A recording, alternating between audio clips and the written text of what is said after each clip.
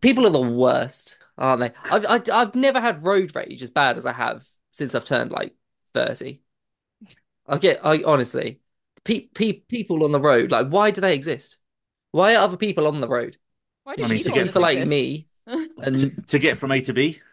Uh, they just stay at home, mate. It's so much easier. Mate, it's not like when I go swimming in the morning and you get pool Everything range. gets delivered to you now. There's literally no reason to leave the house. Earthquake Davies is it connecting? So of course Jose's going to be bloody last again as always. Classic Jose. Classic Jose. Hey, what up, hey, dogs? Birdie. Hello. Uh, how is your uh, Little Rock Hotel experience, Ben? Oh, that's cool. Oh, it does look nice.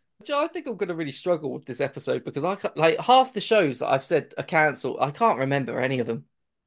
I mean, like, it's a good. That's, I suppose that's one document. of the reasons why they were cancelled. We played in Graceland yesterday. We did a show at Graceland, and uh, we got a private tour of Elvis's fucking like house and stuff. And we we they, she funneled like the, the tour guide funneled us down this corridor. Um, there's a place called the Jungle Room, which is like like all, like plants everywhere, and there's a waterfall and stuff. And we go down this little corridor, and at the end, she's like, "Just go down that corridor and take a right at the end and go through the door."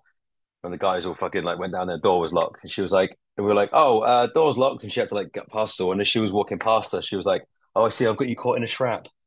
And I was like, Elvis Presley puns. This is fucking like amazing. All right, guys, I apologize for my sexy voice. I'm feeling under the weather today. I was going to say, you do sound really sexy. I thought when you turned up. You've gone, if you've gone full Phoebe. yeah, uh... I was, I was, uh... Sing Smelly yeah. Cat. No, smelly cat, smelly cat.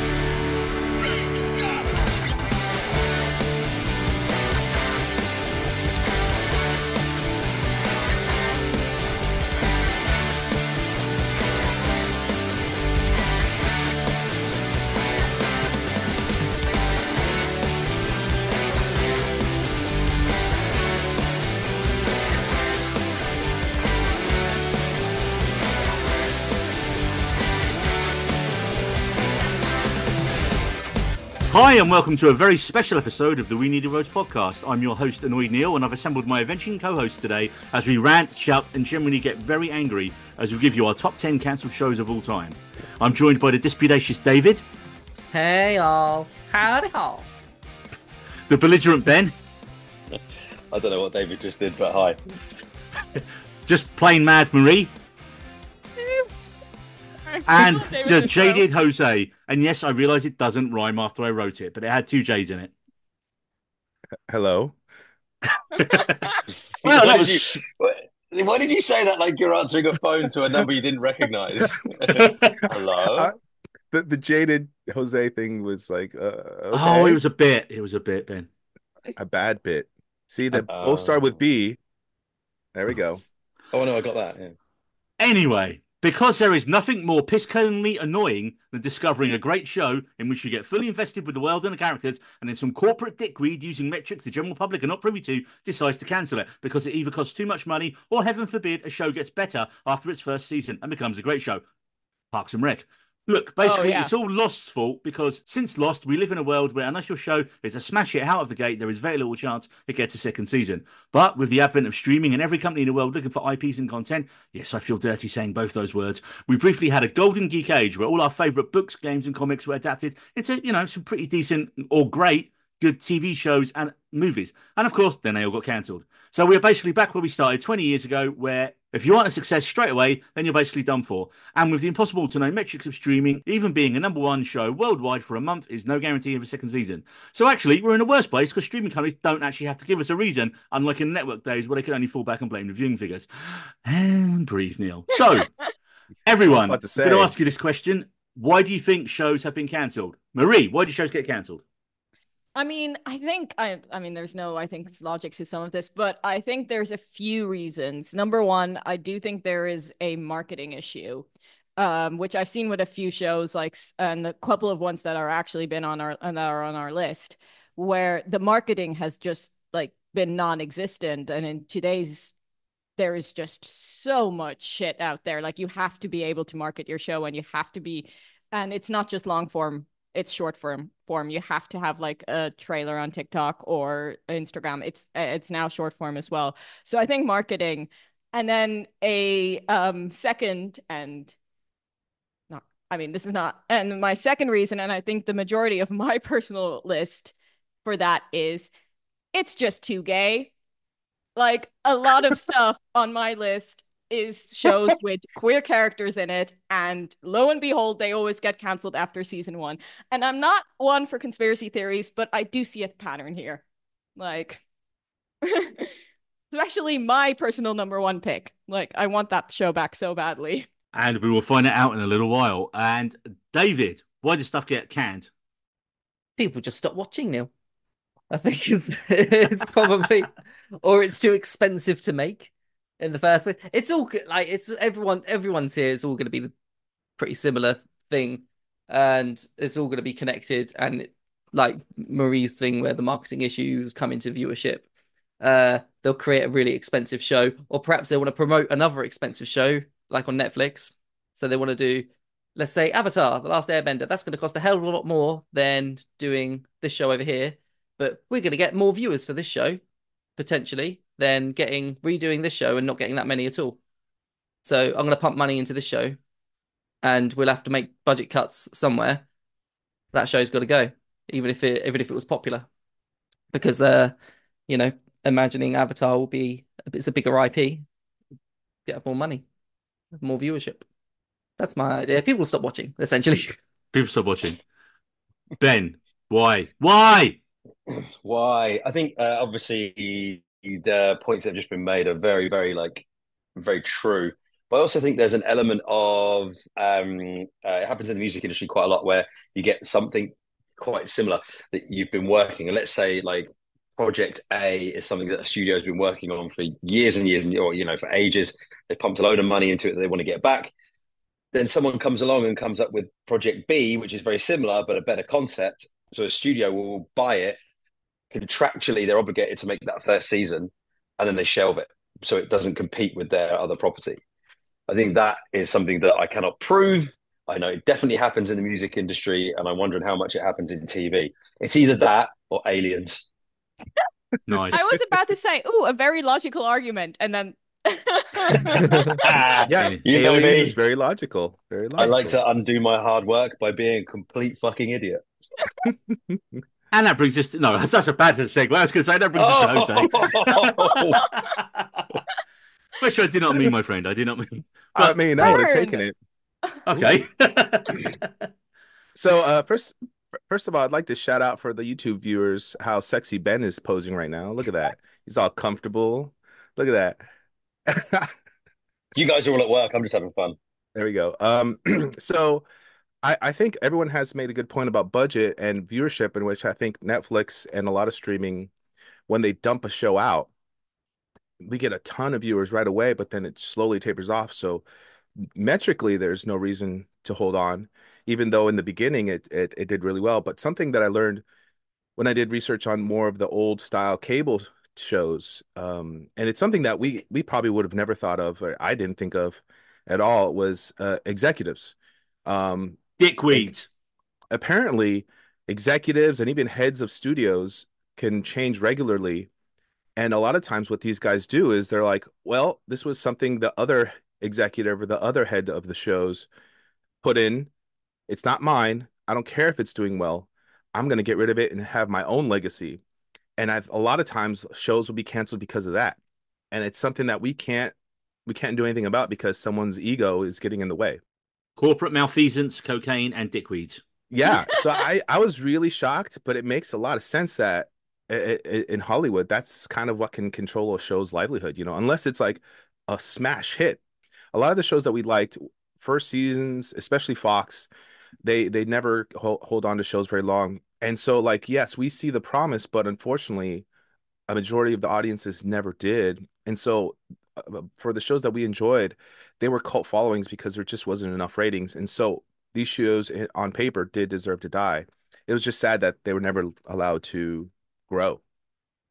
To your point, really quickly, the um, one of my favorite shows of all time as a kid was a show called Red Dwarf, and Ugh. Red Red Dwarf season one was supposed to get cancelled, but the guy in like the head of BBC Comedy got fired, and as a fuck you to the next guy coming in, commissioned season two of Red Dwarf as one of the last things he did. So it actually works in reverse as well as like negatively. So Red Dwarf then ran and became successful off the back of this guy's fuck you, I've been fired. I'm going to throw a bunch of budget contractually at this show that's failing. That's awesome. That's We'd have never awesome. got Rimmerworld. Yay. Honestly, that, I, I think I posted that a little while ago. I was like, it, it's not sacrosanct, but this would be one of the few shows or books that I'd love to see a big budget remake of Red Dwarf. Like it with a proper budget, like a Disney level budget behind it. Imagine what they could do because you go back to the original books and they are so amazing. And BBC, Mm. it just didn't have the scope to do it. Sadly, it never has. Even when it went to Dave, I mean, yeah, Dave didn't have the budget either, but it was still good. It was still good in places.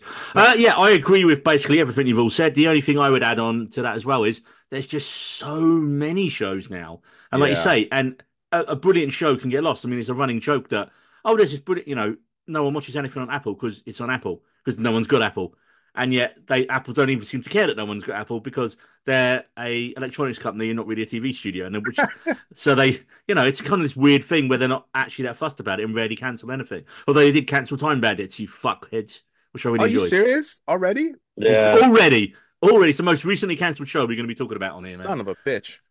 So we are now going to move on to explaining the ranking system. So we each submitted our own top 10 lists with number one getting 10 points down to number 10 getting one point. These totals are then added together using the power of maths to give us our overall list.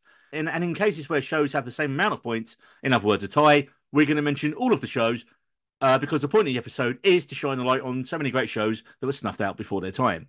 So get your snacks, get ready to hopefully discover some great shows you never heard of, and then get furiously angry that they've been cancelled. Now, obviously, there are metric shit tons of shows we could mention this episode, and this episode's definitely going to go long enough anyway. And somehow, I we had a post on our Twitter go semi-viral a few weeks back. Now, usually I put out a post asking for comments on the episode we're going to be talking about. We say, yeah, we'll read those comments for a shout out on the episode. What I didn't realise when I jumped on the Netflix cancels trend hashtag the other day was the massive amount of replies we were going to get. And at this point, the post was viewed over six and a half thousand times, and we had over 90 comments. Uh, clearly too many to read out. Yes, like I promised. So I've hit upon this solution. We're going to read out any comments that didn't make our list. So if you mention a show that we're going to talk about later, we're not going to read out your comment because you, you've mentioned the show. We're going to talk about it. But first, I do have to address there were four shows that we got more comments about than anything else. And the first one is Dead Boy Detectives. We had so many pissed off Dead Boy Detectives fans commenting. And I think one of the most piss ridden factors for them was the lateness of the cancellation because season two had already been written and was just ready to go. First comment I'm going to read out here is from Cam at 42 miles per hour. And they said, This show had a dedicated fandom, spent three weeks in Netflix's top 10 category, and the second season was already written before it got cancelled. I've watched a lot of shows that I've, that have gotten cancelled, but this cancellation is the most baffling by far. So, guys, did any of you watch Dead Boy Detectives? I watched the like first few episodes, and then unfortunately, I got kicked off of my mom's Netflix because they caught on to the password sharing. if you hadn't, though, would you have continued? I would have continued. I mean, because it's the same universe as the Sandman, and I really like the Sandman Oh. series. And Dead Boy Detectives is like right in my alley. Once again, I want to point out it's a queer show that got canceled. So uh, after one season, so it also falls in that category. But I also thought it was good. The production value was good. The casting was great. Um, it uh reminded me of another show that's on our list that got canceled after one season, which always made me a little bit worried. But yeah, I understand why the fan base is furious. Before you carry on, I just want Mhm. to say in your uh, like in your beautifully written notes here, you said that it spent three weeks in Netflix top ten. I've Yeah. always been wildly fucking suspicious of Netflix own rated top ten to, like thing. Yeah. Like it's like Netflix says it's in Netflix's top ten of a poll we did in the fucking office. Like I don't think that that's a very good met like system of like like you see you see stuff that comes out there like um I, I think it was like one of the one of the fucking um, Batman movies one of the like uh, maybe the Snyder Batman v Superman and it was nowhere in the top 10 it had just been dropped and I was like people are fucking watching that. Like I know all my friends that have just like gone and watched it and it's like there's I was like I, okay so maybe I've, I haven't got that many friends but I don't believe that Netflix. That Netflix is like when I see something in Netflix's top ten, I'm just like, "Fuck you, that's a lie. Yeah. Don't buy it whatsoever." All it, I, I think, especially with Netflix, it's this is our new thing, so therefore everyone's watched it, even if they Mhm. haven't, because we're going to make you watch it, and whatever goes on the homepage is what they've been paid the most to put on there. And there's a couple of things in in our list that I've seen that are, were, were number one in that top ten, and I think it's just a way for them to like, like Market it. move units. Yeah, they're like Yeah. it's not actually a top ten. It's just how it's just that's advertising for them. Yeah, yeah. Yeah. But Could even if I don't that's know.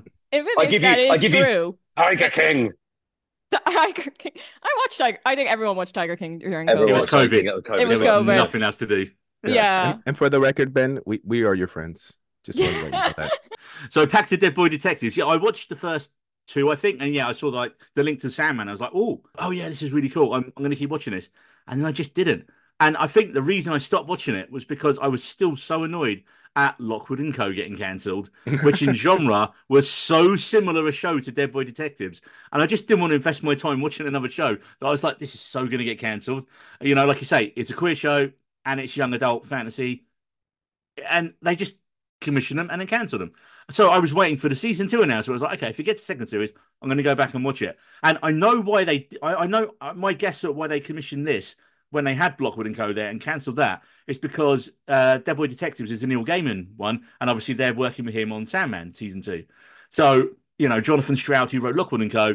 They're not doing anything else with him. So it's kind of, oh yeah, keep keep the uh, the the, the author happy in, in a way. If we we'll do It's this probably- property of yours. Probably a contractual obligation. They Yeah. bought, they wanted they wanted Gaiman's like like catalog, but they wanted Sandman, and and his like agent probably went, well, you if you take Sandman, you've got to buy, you've got options on all these other ones, and to keep Sandman, they probably had to make a series of one of his other one of the options. That's how. That's why Sony have to keep making Spider-Man movies because if they don't Yeah. make a Spider-Man movie every The two rights years, revert, don't they? Yeah. So maybe it's a contractual thing as well. So thanks, Hmm. contracts. At Mistress Jar, uh, hashtag Dead, Dead Boy Detectives has got to be one. My Dead Boy Detective post on the at Netflix cancels uh, hashtag has 97,000 views, hundreds of likes and shares. People underneath comment and say they couldn't believe it was cancelled, and others going, quote, this show looks great. Why didn't they promote it? Question mark. Ah, going into what Marie said. There you go. Smashing like what she was saying about promotion and marketing and stuff. Captain Space Shorts at Melly Film said, Gonna have to say Dead Boy Detectives, no promotion, algorithm weighed against it, spooky show, premiered in April, yet still managed three weeks on Netflix's top 10. Two weeks on Nielsen, news. I didn't know that was on Nielsen now. Uh, 92 rotten, 92% Rotten Tomatoes, 30, 30 plus best off list. Season two is written, engaged, and in growing fandom. Egregious. They get bonus points because I literally put that in my post. What favourite shows of yours has been egregiously cancelled? So they get bonus points for mentioning egregious backing it to me. So great job. I was just gonna say that's another good point. Nearly everything on our list also has like a high Rotten Tomatoes score. It's like they were like loved everywhere. So This, of course, leads me on to the next most mentioned show, which was Lockwood and Co., which was so bloody good and left us on an incredible cliffhanger of Lockwood about to reveal to Lucy and George what was in the locked room. Well, we're not going to ruin that here for you, but go and check out Jonathan Stroud's books to find out, and you won't be disappointed. And honestly, still to this day, our two episodes where we talked about Lockwood and Co., and then the one we talked about getting cancelled, are our most listened to episodes of any. It's insane. The fandom for that show is crazy. Jose, what did they have to people have to say about it? At Fluffy Pinkets, Lockwood and Co. It's always going to be Lockwood and Co. for me. The skull has my heart. you Exclamation did- point! Exclamation point! Exclamation point! Like the skull has my heart. It's I was trying to on. do it sexy. Come on. I know, but come on with the with the with the exclamation points it. they had on there. I thought that was great. All of The a sudden, skull has my heart. it was a, for a second there, it was a book on tape. At Spice T23 said, you, you know, we're never going to forgive or forget Netflix UK for cancelling Lockwood and Co. because Complete Fiction, the head of production company who made the show, did an amazing job. We're so glad they did ClusterCon 2023 and Lock Nation meet with us so we could tell them we're still fighting to save Lockwood and Co. So, yeah, Lockwood and Co. fans actually organised an online con called ClusterCon Wow. last year. Wow. for free, and the fans were able to interact with each other. And also, they had guests like the author of the book, Jonathan Stroud. They had the DOP of the show, Oliver Curtis, uh, Bradley Down, script editor on the show, the right, one of the writers, Joy Wilkinson, and director William McGregor, as well as the whole exec producer of the whole shebang uh, from the production company Complete Fiction, Rachel Pryor. Now, what I like about this is sometimes I think in the industry, when a show's cancelled and everything's so fast moving, you think the creatives behind it would just right, it's been cancelled. Boom, we're on to the next thing. The fact that they're still obviously loved working in the show that much that they're taking the time, like a year after it's been cancelled, to still go out and do like a fan convention for that. For yeah, and, you know, the, sadly the show isn't coming back. It's almost two years now, and all the actors are working on other stuff. You just know that's you know that's usually the thing when the show's not going to happen. But it's just such a good example of like a positive fandom there. Like, and again, the amount of comments we've had from people about Lockwood and Co. over the years is just it's crazy now, man. I'm pretty sure I checked out your podcast because of the Lockwood and Co. episode. I think that was like the first one I heard from you guys. Yeah. Awesome. Were you on it, Jose? Yeah. I don't think I watched the show, but I was part of the, crew. And now you're banished again. I was part uh, of the, true, the group at that point. You were the true reason it got cancelled, Jose. Next up, Warrior Nun, a European production that was likened to a modern day version of Buffy in some places. Now, I admit, I watched a few of them and it never really hooked me as much, but it was cancelled after its second series, and then it, there was a massive fan campaign that got underway. And uh, Paul Tassi of Forbes wrote, "Netflix cancels Warrior Nun, and you're gonna like this, Ben. Its highest audience scored series ever for reasons." And um, it was apparently the highest single-rated show of a season in Netflix history, according to Rotten Tomatoes at the time. Wow! And of course, it was cancelled. At Bella Snow thirty always and forever warrior nun. It's not just a loss it's a whole black hole in our hearts.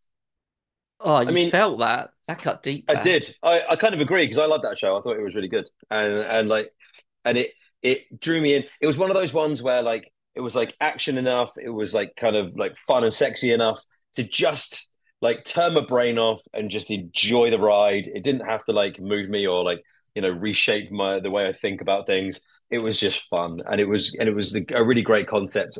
I like being a huge buffy the vampire slayer fan like this kind of spoke to me as well. So like i do i genuinely do feel um uh, i'm with you at bella snow 30 at monty dom 32 canceling warrior nun was unforgivable and santa clarita diet canceled on a literal cliffhanger.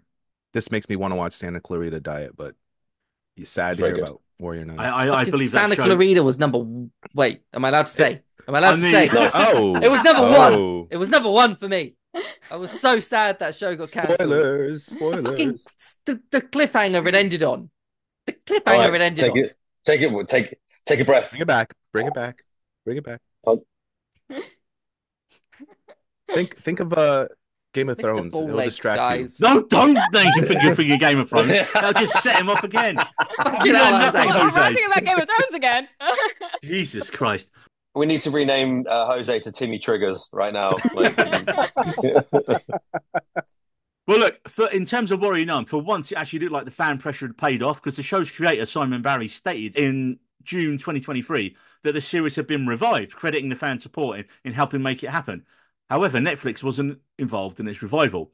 He, the guy then posted a link to the website warriornunsave.com showing a countdown to August 15th, 2023. The exec producer, Dean English, then confirmed in August that the storyline would continue with the series in a trilogy of feature films and also teased the universe based on the series. However, that was hmm. over a year ago and nothing has happened yet. So, any Warrior Nun fans, just let us know what is going on with this revival because it seems like it's stuck in a development hell, much like our community film that we're still waiting for. Hey. Apparently, it's under development. It's always under development. It's always under development. It's never gonna seasons six seasons in a movie. Yes, six seasons now, in a movie. The other show that got lots and lots of attention, and Marie, you're gonna like this one, was Shadow and Bone, which once again had superb metrics. But interestingly, this time Netflix blamed the actors and writers' strike. Not didn't blame they didn't blame hmm. the actors. They blamed the writers and actors' strikes, and uh, as a reason for cancelling the show. And the fans were even more pissed off because they'd already announced a Six of Crows spin-off show, mm-hmm. and that was all written, ready to go, and they cancelled both of them. I really liked Shadow and Bone. I did not read the books. They kind of came out after I was no longer young adult. Uh, basically, like I, I think uh, they weren't like they came out after like I was a teenager, the Grishaverse books. But I really do like the show because I I watched anything fantasy related, and also like fun fact for season one, they shot the majority of it in Hungary. And I actually like do know like I've been to the majority of the locations in perp uh, uh, uh, like multiple times, especially the Little Palace is in Szeged, and uh, this was like they released season one during COVID, and I haven't been back like to Hungary because of COVID for like three de- years at this point. So like seeing Hungary was really cool. I was just like the Leo meme. I was like, oh, I've been there. But it was solid young adult fantasy, and the and of course, I think what a lot of people would say about the show the most interesting part of the series was the crows. So I was really excited about the fact that they got their own spin-off. And yeah, the fact that that got canceled was annoying. I have to say, like, when like the crows were the ones that kept me in spot every time it went to the other characters, I was like, eh, meh. But like the crows are amazing and yeah, I thought the world was cool. I thought there was a cons- like it did lean very into young adult tropes, but it definitely deserved to like tell its full story. I hmm. have a question. Is the crows a, someone's a character's last name or is it literally crows? No, Because I'm imagining like crows just lined up on like a Yeah, I was wondering. okay. it's a gang. It's a gang. So the book is actually Okay. called The Six of Crows, and it's a thieving gang that like runs around this fictional uh, uh verse and like performs heists. Uh, I was imagining just a bunch of birds. Mhm. Okay. I mean, No. I was thinking Like- people who turn into birds. Anyway, m- moving on, moving on. So, uh, Claudia Dunage says the Six of Crows spin-off cancellation was such a shock. The scripts were already written. The cast loved it. It had the most. It has the most amazing heist. The biggest mistake Netflix has ever made. At Kit's White Shirts, uh, Dead Boy Detectives slash I am not okay with this slash End of the fucking world slash First Kill. Which sounds like escalating threats, really, doesn't it? It does. It sounds like they're really annoyed about Dead Boy Detectives being being cancelled. She's not. They're not okay with this. It's the end of the world, and they're going to going kill someone. But that, but that is just a list of, uh, of shows that got cancelled, right? yeah, yeah, yeah, yeah. Good. Uh, Good. There's no Good. few through narrative. The next person is Cage Fighting Pod. I'll never not be angry about Last Man on Earth being canned, especially with it ending on a cliffhanger. I actually saw a couple episodes. That was really, really funny show. Good old Will That Forte. was a great show. Great show, man. The episode where he's driving a, he, he finds an abandoned air, like uh, military aircraft, and he's just driving it through the streets. Nearly killed me laughing. Uh, at Metallica Wolf, great name because it's Matt and then Atal- Alika. So Metallica at Metallica Wolf, double T. American Yeah, we Gods get words. Neil, cancelled. carry on. Do you? Do you? American Gods was cancelled way too early, as I'm sure uh, Mr. Ricky Whittle will agree. And Utopia UK for me was the biggest TV TV cancellation of all time. That was a 10 out of 10 show. Let me just psych myself up for this one. Okay. At uh, RP Canary PI says. Now, is that Midnight Canary Private Detective? Because that's Okay, the show I want to watch. Oh shit, there was Honestly, more. I thought Matt. it was just the Midnight Club. I didn't realize there was a little bit underneath that. Okay, they said I thought the Midnight Club was pretty decent. I believe it was cancelled on a cliffhanger after one season. David, can you confirm? I think that was for you, Neil. That section at the end. David, I can you read that. confirm? Was you? Because you, I know you watched it. I don't know. I I'm was like- the reason why it got cancelled again because I stopped watching it after about. It was by your bro. Your it was by your bro. Your man. I know. Don't let him know though. Mike Don't- Flanagan. It I was mean, I a hope he doesn't listen show. to this because I, I, I really want to work for him one day. So maybe cut that out because you know Mike's going to listen. Yeah, So don't. I don't want him to know that about me. We I are want to getting a lot positively. of famous listeners. we are. It's true. Well, I, I I got retweeted by the director of the Substance uh, the other week because I said Oh. that last twenty minutes is one of the most insane experiences I've ever had in the cinema, and just the look on people's faces. But this isn't one about the substance. But we'll get back to that sometime. Jose, next. At Saturn Widow, maybe Julie and the Phantoms. Kristen Pratt at Pratt underscore Kristen. I really loved hashtag the Brothers Sun, something I've never actually watched, uh, and was disappointed they cancelled it. And Michelle Yeoh was fabulous as always. Justin Shen, is that Shen? And Sam Lee were fantastic. Uh, I want to see them in more things. Great action scenes, a lot of heart, fun soundtrack. We love a soundtrack here Love a uh, soundtrack. on We Needed Roads. A Is this the one where out. Well. There's a guy in high school and he starts to learn he has magical kung fu powers. I don't know. I haven't watched it. I don't Oh. think any of us have watched Hmm. it. So that's on the list. No, I haven't seen think it. We'll have to watch it. Uh, Ellie at, at Ellie actually gives us um she gave us a massive list of shows, and so we have cut some of the ones that we're going to talk about later. But even from that, there was still about four or five shows here that I hadn't heard of. So Anne with an E, not a clue. Everything sucks. No, no. Everyone's looking. No. Wait, That Uh, sounds no, I- no, Pretty everything smart. Then um, there was also the Irregulars, which steampunk Victorian fantasy show. You know that's getting cancelled after one season. Bastards. That was really good. I completely Oh no, forgot I haven't that. seen as well. Everything Sucks. Uh, I've never Okay. even heard of it. I'm mixing it up. It's a really great Descendants song. That's why. Oh, of course it is. And Dead to Me as well, which I, I- think was the Linda Good to me. That's one. on my list. At next to the aisle, Mindhunter slash OG Quantum Leap. I never understand this one getting cancelled and Quantum Leap the first time. But OG Quantum Leap, yes, it was cancelled and yes, it was heartbreaking, but it gave us the very best ending to any series ever, in my opinion. Like the way that show ended, the way they drew that together, and like and how Sam Beckett like like has to make a decision that he can go back and fix Oh. something that he that he went. Oh, it was spoilers. Spoilers for a show from the I feel like Oh, that's no. like a whole other podcast as well. are you gonna Best Are you gonna go endings. back and watch something from the nineties, Jose? Like, are you honestly gonna go back and watch Quantum Leap? All oh, I mean, seven I- seasons of 22 episodes. Yeah, and it was yeah, it was cancelled. It was cancelled after seven seasons. Like yeah, like like I, Neil I just mean, said. how, like- how was it canceled? It wasn't soon then? really- seven I- seasons. Because there was no ending. It didn't end, Yes, there Jose. was. For me, and that end of Quantum Leap was as good as the end of uh like Sopranos, where you just get that kind of like, oh Ooh. shit, what's about to go down? Like that was fucking genius in my opinion. And Quantum Leap had the same ending.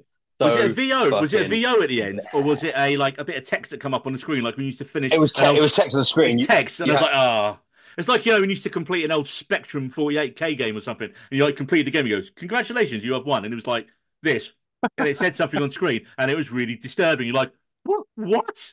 But yeah, uh, Quantum My voice went really high then. Uh, at launching the pilot, said Travelers. Anyone heard of a show called Travelers? yeah. No. What is Travelers, Ben? Uh, I've got it in a nutshell. I think it's um, I think I think it's time travelers. People come go back in time, but they inhabit people's bodies. So they send their consciousness back in time. They inhabit people's bodies from like now, and they have. I- I've got to be careful with spoilers again, but um, they they inhabit people's bodies and use those people to enact some sort of plan that they have to either save the Ah. future or or like have something happen in the future. Like it's it's pretty good. Like it's pretty good. Like Is it was one of the good. actors from Will and Grace? Yes, it was one of the guys, the guy from Will and Grace. Yeah, I did. Yeah, he seemed very evil in that show. I saw the first episode. It- they all Spoilers. they all come across as really show that- evil. No. Yeah, exactly. you Jose. bastards turning it around on me. You reap what you sow, my friend. You're going to get sewed all over. Uh, Oh, uh, You're gonna get sewed right up. I, I choose not to. our friends over at the Doom Generation pod said Manhunter when they meant Mindhunter, but then they explained it by saying it is 2:30 a.m. when they responded to that tweet. And also, there is a film from the 70s called Manhunter that I guarantee you just look up because it's it's it's it just looks mental and crazy and really bad, and now I want to see it. So Manhunter from 1974. So before we get to our uh, our honourable mentions, I'm going to run through this as quickly as humanly possible, but hopefully enough slow enough that you can Don't forget to understand breathe. it. Breathing So in this Yeah. No interruptions. You can jump in at, at the end because there was a lot of shows here that we're not going to talk about in any more depth than me literally reading out the name of them just to go, oh yeah, that was a show. Hmm. Hands. Freaks and Geeks, Seth Rogen, Linda Cardellini, and many more, a teen comedy drama from Paul Feig, one season. The Get Down from Baz Luhrmann, starring Justice Smith, about the birth of hip hop, half a season because they never Netflix never did the second half of the show. Arseholes. Pushing Daisies, Bryan Fuller's whimsical comedy drama with Anna Friel and Lee Pace. Brilliant show. My Lady Jane, I mean, it was just cancelled and we've talked about it a lot. Hashtag save my Lady Jane. Brimstone, Smallville's John Glover as the devil from 1998 about a cop who gets killed on duty, makes a deal with the devil to recover escaped souls from hell. Cancelled.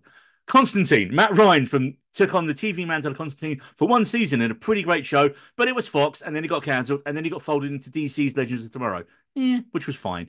My So-Called Life, the original teen drama that launched Claire Danes and Jared Leto, one season. Battlestar Galactica, the original Battlestar Galactica, it had an $8 million pilot in 1978 and had 24 episodes, and then it was cancelled. But I think the, probably the first big fan campaign to bring a show back was Star Trek. This was probably one of the next big ones. And it was saved and it was brought back. Although it probably shouldn't have been because it turned into Galactica 80, where they were on Earth and it was basically just chips. It was fucking terrible and it deserved to be cancelled. Dirk Benedict's face was like, fuck that, I'm not coming back. And I don't think Richard Hatch even came back for much of it either. Cowboy Bebop, starring John Cho, Netflix version of the classic anime, was largely hated by fandom. However, if you hadn't seen the anime, like me, I really liked it, and it definitely got Firefly vibes going on. And Ben's waving, and you know he liked it as well. It looked amazing, so of course it was cancelled. Stargate Universe. Imagine Star Trek Voyager, but it's Stargate, where a group of people on the ship need to get home. It starred Robert Carlyle as a shifty scientist, and it was really decent. So of course it got cancelled after one season. When every other Stargate show got about seven seasons and twenty-two episodes. Willow available for about six months and then thrown to oblivion and not available anywhere, despite the end of it promising us two more seasons. Now, I was really annoyed with this because Willow was getting better and better by the episode. Had a great cast and it was funny. It's so rare to get funny fantasy, and it really had amazing Buffy vibes when you got to that last scene of the final episode. Angel, I mean, we got five seasons, and after what we know now, which was speculated and confirmed about Joss Whedon, it's probably best it did end. But also, it went out in a blaze of glory. But there is an official season six comic called After the Fall, which is great. We're definitely worth picking up and reading if you want to see where the story goes afterwards. Speaking of problematic people, still Whedon, the Nevers, his last show about Victorian superpowered ladies got shut down during COVID, and he also got shut down during COVID as well and stepped away. But the show was really fun, had a great cast, and then it had such an outrageous mid-season twist that I had to check I was watching the same show, and then I still wasn't sure until other characters finally came back into it. I was like, "What? What have I just watched?" It was it was one of the craziest twists I've seen because you're watching a, a you know a Victorian fantasy show, and then suddenly it's a completely different show. And finally, Vinyl, a collab between Martin Scorsese, HBO, and Terrence Winter from The Sopranos about the cutthroat music industry in 1970s New York, starring Bobby Cannavale, Olivia Wilde, and Juno Temple. It was really good, despite Mick Jagger's son being in it and not being very good. And that, of course, got one season. And breathe. As an American who grew up with my so-called life, I am Mhm. shocked that was just one season. It felt Yeah. like so much longer. Uh, of course, it was probably when episode there was 24 episodes per season, but I was just like, that was such a big deal back then. Like Claire Danes really blew up because of that. Yeah, Yeah, man. she I'm- exploded. when you Right, we are almost ready to start the list. But first, we have our honourable mentions. Marie, what shows would you like to mention that are not in our top 10? The first one's on my honorable mentions um, is Dead Like Me, which I think is the oldest show that I have on this list. Um, and it's the one that I saw like ages, ages, ages ago when I was a teenager. But it was really good. And the concept was that when you die, you come back as a Grim Reaper and you have to like help people to their deaths. And you followed like this teenage girl who was a teenage girl and didn't want to be there. And the concept was amazing. Um, and it definitely deserved more seasons. I remember she, uh, um, George, her name was, and she got killed by a Toilet. toilet from a, a spacecraft. I saw that. Yeah, I saw It- Amazing show. I still recommend it, even though it doesn't like have like a proper conclusion. It did get a movie. Yeah, I think they finished it off in a movie, but again, I think a lot of the cast Oh. have moved on. So, Yeah. So uh, Dead like, Like Me Afterlife, I believe, is the movie. Yeah. Yeah, and I believe I did see it, but I don't remember it as well as I do the show. Hmm. Um, and then like second one on my list is A League of Their Own, which was a remake of the movie. And uh, it was Amazon Prime. It, I think came out two years ago. Once again, it was a queer show that got canceled after one season. And I'm not into sports, so if a sports show like catches my attention, um, it, it's saying something. But yes, it it was the story about when like all the men went off to war and the women had to pick up the work, and one of them was be like um starting a baseball team because they still wanted to keep morale up. And yeah, I thought it was a great show. The costuming was adorable. Uh, the characters were really good, and it also ended on a kind of a cliffhanger. So I thought it definitely deserved a second season, and I think it was in general just planned like a two seasons. They weren't like planning on making this like a very long show, so that's another reason why the cancellation was so disappointing. And now this one, the next one is like I generally think like I do recommend even checking this out, even though it just has one season. It's a Netflix show, of course, and that is Teenage Bounty Hunters.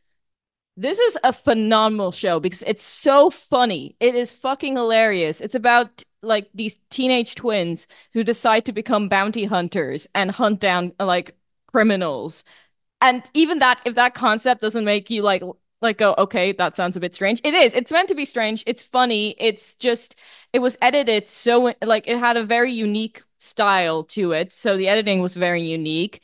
Um, and it also ended on a fucking cliffhanger. And yeah, I really want to know what happens next. And that is like a very, I think it was also one of Netflix's best performing shows of that year. And the fact that it got canceled, it was very disappointing. Once again, queer, and it got canceled. I'm going to be repeating that a lot. And then um, another one uh, was Paper Girls, which I think came out two years ago. I really liked the show. I thought it was um, interesting. I liked the concept, except I, and again, was shocked when it got canceled. Then I read the comic and kind of understood that they kind of went into their very own direction.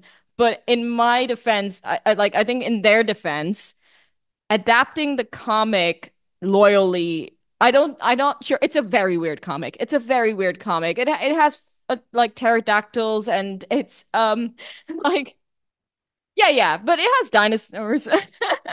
oh, the comic is also really uh fun.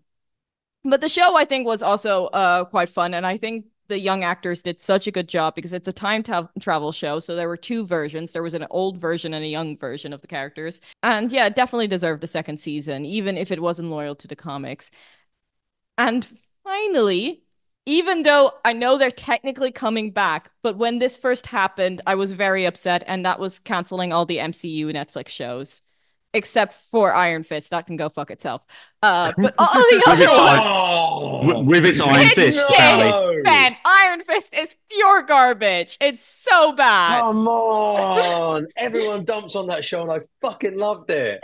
I get like it was like it was an epic version of Hollywood whitewashing. I understand it was like cast wrong, but it was really fun. Like it was. Oh god, fine. My favourite out of all those MCU shows was um, The Punisher. I just thought Jon Bernthal was so so superb as it, and hopefully, and we know he's coming back for uh, Daredevil mm. Born Again. So. Jessica Jones, and I mean, there are rumors. We've uh, like so like I'm really hoping she's coming back, but like I was really disappointed I that saw Jessica the Jones first season got of canceled. Jessica Jones. They they did a really great job with the first season of her. Mm-hmm. That got me hooked. First season was was David Tennant was the bad guy. That's one. it. Yeah. Oh, yeah. he was Um, so, so good. good. But the So second season wasn't as good. Like I it have just to wasn't. admit, the second season Like- wasn't so good, but That's where I dropped off. It wasn't. second And I- because I loved Defenders. I thought that was fucking excellent. I thought they brought the characters Mm. together really well. It was really good fun. Like it was like I, I mean, it's a TV show. You're not going to get a Avengers level like like stuff out of it, but you know, like they made some bold moves in it. I was like, all right, cool. You're gonna maybe kill off a character, and Sigourney Weaver was in it. It was fucking brilliant. Everyone dumps on it because it comes out like the competition for it was so hard. Like I was like, you guys, fine, whatever. I'll just be a little I comic book nerd enjoying comic book it movies and shows. And the final what they were fighting inside of a dragon that was not. I don't think. I mean, it, it's comic book, but still, it's and also you couldn't see anything. It was very dark. Uh, They weren't fighting inside of a dragon. what what They were what was fighting, it? They were fighting for the dragon's blood. And they were fighting in the in the basement of this building that ends, ends up falling down. Maybe, possibly on top of one of the characters, so I don't get fucking shot by the spoiler police. I don't know. It was yeah, it was dark. I, I didn't realize. I didn't know what was going on. Speaking of not knowing what's going on, David, Oh, hello. your Yes. your your free your free shows, mate. Uh, my first Was that one, we're just which meant to is say three? Sorry, I went It's- down the list. a- Well, my- your list, your list is You there. supplied more than free, Marie. You got to talk more than free. you, you did good, Marie. Um, my my first one isn't like a proper TV show, I suppose. It's did I mean, anybody it is. watch the Crystal Maze? Jose, Yes. did they have the Crystal Maze when you was a a, a, a wee nip I don't back in remember that. 1990? Bearing in No. mind it's a British game show, Jose, uh, David. Yeah. Yeah, Yeah, I know. didn't That's why I'm this. asking Jose if, if our American listeners had had the, had the crystal maze. So basically, Jose, you get a group of people, like families, if you will, or friends, and everybody just goes into their own little rooms and they have to do puzzles and they get little crystals at the end of it. And these puzzles could be like physical puzzles, they could be like maths puzzles, they could be anything. And at the end of it, they go into a big crystal and they've got to catch all of the all of the leaflets. They got to catch all the leaflets, Jose. And then I love And You've then they- horrible David- the video. deposit the leaflets into this into this like little uh little little leaflet Trapdoor. Trap that yeah, yeah, that's the word. And uh and then at the end of it they get money. Uh, that's All right. Can I, can I just TV give an show. over? Can I give a, a quick overview so it doesn't sound like a, a fever dream that David had? so, teams of people uh, go around four areas, right? One person at a time has to go into a into a room and solve a puzzle with the help of the people on the outside guiding them. So it could be a physical puzzle where you've got to do something physical. It could be a mental puzzle where you where you've got to like like you like use like your brain to like figure stuff out. Um, and there's there's all these different categories.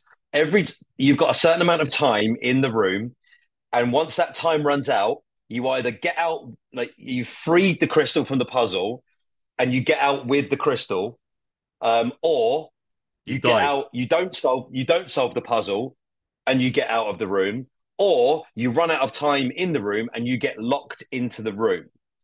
So you go around and you do all these games, and then each crystal gives you 10 seconds of time in the giant crystal at the end, right? And the idea is to get as many crystals as you can so that you've got as much time as possible in the giant like ball, which is full up with gold and silver like tokens that giant fans blow around and you've got to catch them out of the air. Every time you put a gold one through the through the trapdoor, you get 10 points. And every time you put a silver one through the door, you lose 10 points. So at the end, even the last game, oh, and if you want to, the more people you've got in that ball at the end, the more leaflets you're going to collect. So if you've got people locked in the rooms, you've got to use your crystals to buy them out. The whole thing was mental. Yeah, you you you guys got that from what I said, right?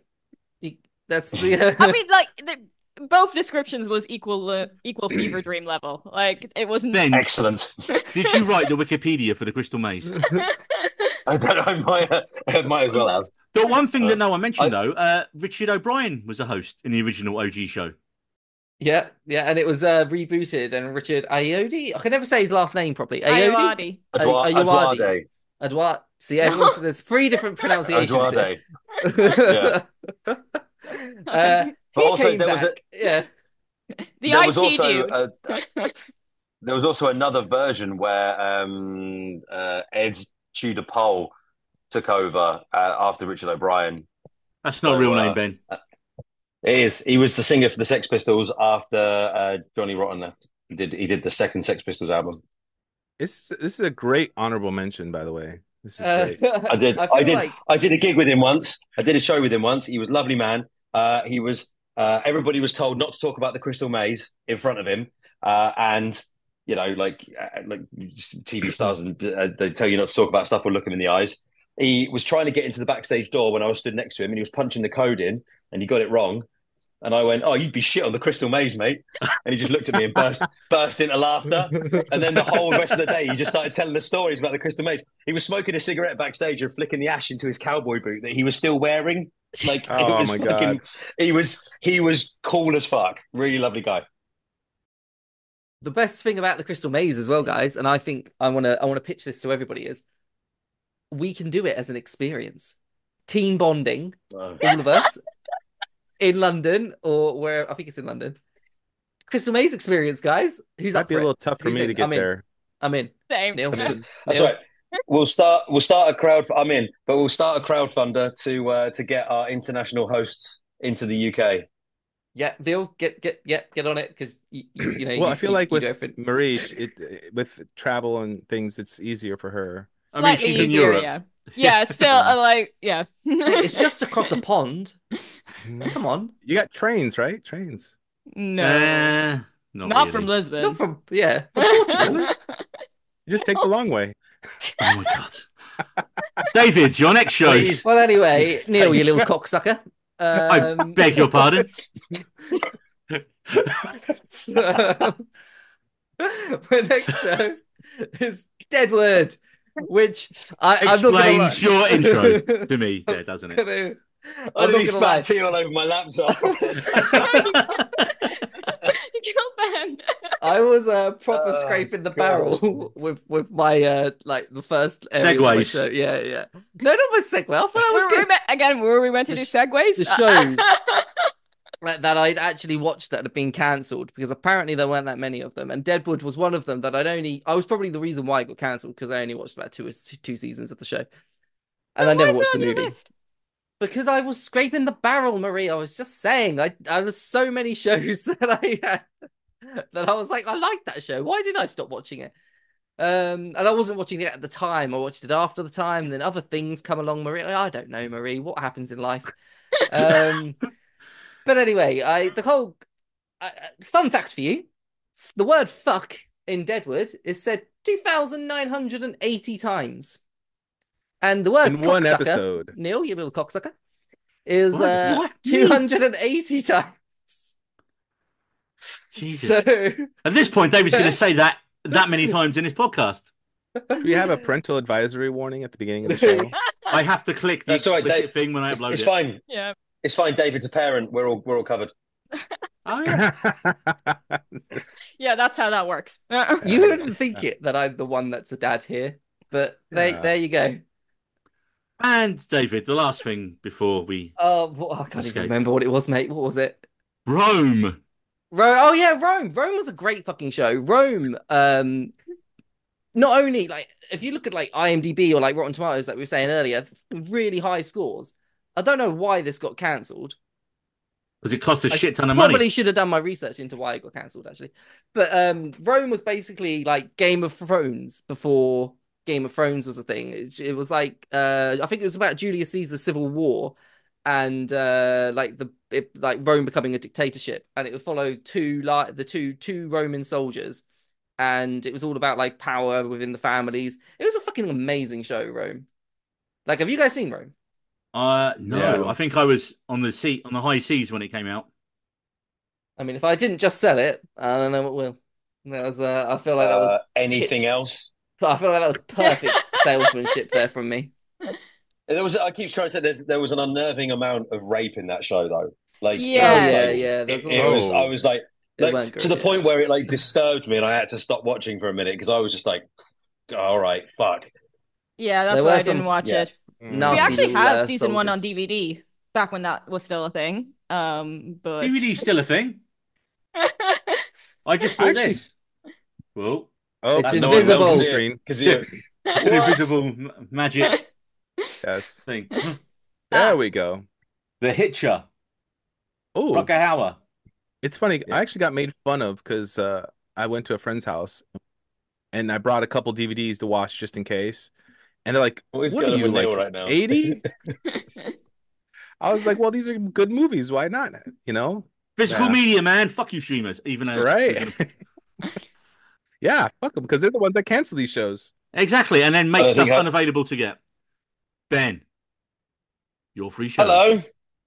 Thank you. I was just writing notes. My three shows. I'm going to start off with. Uh, this is a weird order because I put them in a weird order, and Neil just copied them straight onto the notes. But I'll start off with Veronica Mars. Um, I don't include the reboot. I thought like that would that was a different thing. Like it just fucking stopped. Like four seasons in as well. Like when you get four seasons in on something, I think was it was it four seasons? Four seasons total. It- it and- three. there was a reboot. It was three seasons, and then the, the there was a rebooted season, and then and then the movie. I quite enjoyed the movie. Um, but yeah, so so the three seasons. Thank you, Marie. Um, it just it just stops. Like it, you don't really get anything. Nothing gets resolved. No, and it, but it was it was really well acted. It had some great people in it. It it was dark where it needed to be dark. It was light where it needed to be light. It dealt with some really heavy teen issues that, like, I don't think anything else was kind of brave enough to go that far into at the time. Like, you had shows, you know, you had like the throwaway shows like um, One Tree Hill and the OC and stuff, which just like dealt with the melodrama. And then you had like the, the Buffys and stuff that dealt with like the darker side of like teen life. And I'm sure there are many, many others that I never watched. But for me, Veronica Mars was like gritty. It dealt with a lot of like really, really important um, things that teams were going through, and it cast a lot of light onto that. And so it throws a lifeline out that then just gets sort of snapped away. The movie then comes along to sort of tie it all up, and the whole world has moved on, and it's not really a team thing anymore. It's just like wrapping up these characters to you know, as like a band aid on what you were kind of like trying to trying to sort of um, resolve in your own mind. Um, so yeah, so Veronica Mars is the first one on my list. Did anybody else watch it? Yeah, I, I'm a huge Veronica Mars fan. I actually rewatched it last year because I watched it when I was a teenager, and then last year I was like in the mood for it. I don't like season three, I have to admit. Um, I do like, uh, uh but one and two I think are just peak television. Um, Mm. I haven't seen the movie in a while, uh, but I did remember enjoying it because I watched it all in one when I was uh checking out this uh, show for the first time. And then the reboot, I actually quite enjoyed the reboot, except for the last, like, what was it, 10 minutes where they made a phenomenally stupid decision. And I generally do not understand why they made this decision. And based on like the like other fans, I, I I'm not in the minority here. So Mm. yeah, um but I do agree, like the original series, especially season one and two, um, and uh, more season one because season one is, I think, peak television. It is really, really good. Like it has a really Mm. good mystery, um, but not just a really good mystery, a really good way the mystery gets solved because that's also really important. Uh, Yeah. and um, the characters are hilarious. Um, so yeah, I, I- uh, I always advise anyone to check out Veronica Mars. Like it's a good show. Yeah, agreed. Uh, agreed. Um, so then my second one uh, is a show called Reaper, which was a comedy show. Um, and like it was actually Neil, it was you that turned me onto it. Um, like back in the day, you're like, you got to watch Reaper, and I was like, shut up, don't tell me what to do, and then I watched it anyway. That doesn't sound Um, like Neil. and Shut up, it- David. You know what? It sounds sounds a hell of a lot like me, though. I think we can spoil Reaper Man. It's never coming back, is it? Let's be No. honest. I mean, Shut up, Jose. I don't think. I don't think. I think oh, yeah, I'm you're going to reap. probably right I'm going to reap Jose in a minute. Oh, I'm gonna. Okay, Reap. I'm not gonna jump in on that because I, I I'm going to Oh, virtually yeah. smash him in the head with this. I've just realised, Jose, have you has your shirt got your hometown on it, just in case you forget where you live? it's What is it? The Oh, it's the Bucket. Oh, okay, okay, it's the Buccaneers. Okay. Yeah. That was almost a really good burn, David. Almost. Ben, tell us I'm- about I'm Reaper. gonna read. So I'm, just, I'm actually just going to read the overview um, from uh, from Google because uh, it, it is pretty good. So when he was going through his teen years, Sam often wondered why his parents never seemed to mind his slacking off, although they always pressured his kid brother Keith to excel. When he turns 21, however, Sam makes an ungodly discovery. His parents sold his soul to the devil before he was born. When Satan pops uh, in to explain that Sam is going to have to serve as his bounty hunter, tracking down escaped evil souls and returning them to hell, Sam's first reaction is to tell is to tell Satan to go to well home. But it quickly dawns on him that the breaking a deal with the devil is likely to have more serious consequences than getting grounded. Before you can say, "Is it just me or is it hot in here?" Sam embarks on a dangerous and often terrifying new gig as the Reaper, assisted by his fellow slackers Ben and Sock, as well as Andy, Sam's girlfriend. Bret Harrison played Sam Oliver. Now, like he pops up in stuff from time to time, and I'm like, that's the kid from Reaper. Couldn't tell you what else he's been in though. But it had Ray Wise as the devil, who was Oh, just good, good, yeah. he was so funny, so tongue in cheek. So he was almost like a like a wise guy version of the devil.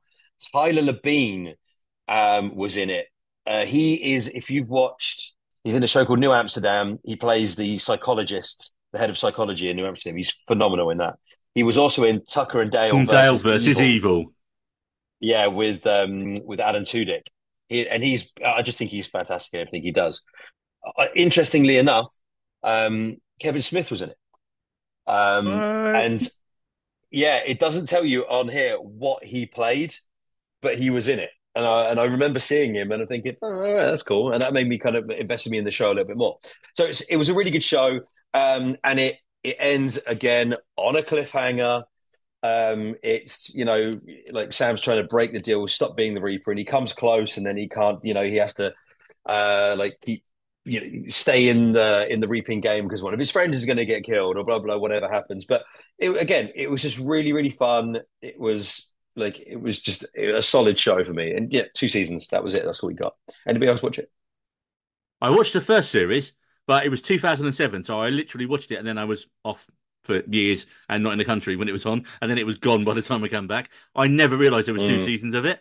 So if it's ever going to be Mm. on like a streaming thing somewhere, I will definitely watch the second. I'll watch it all again probably because it was that like you say, I don't know. Was Kevin Smith involved in like directing some of the pilot as well? Maybe I think because he was I at his peak it's around probably. then, I don't, I don't know about.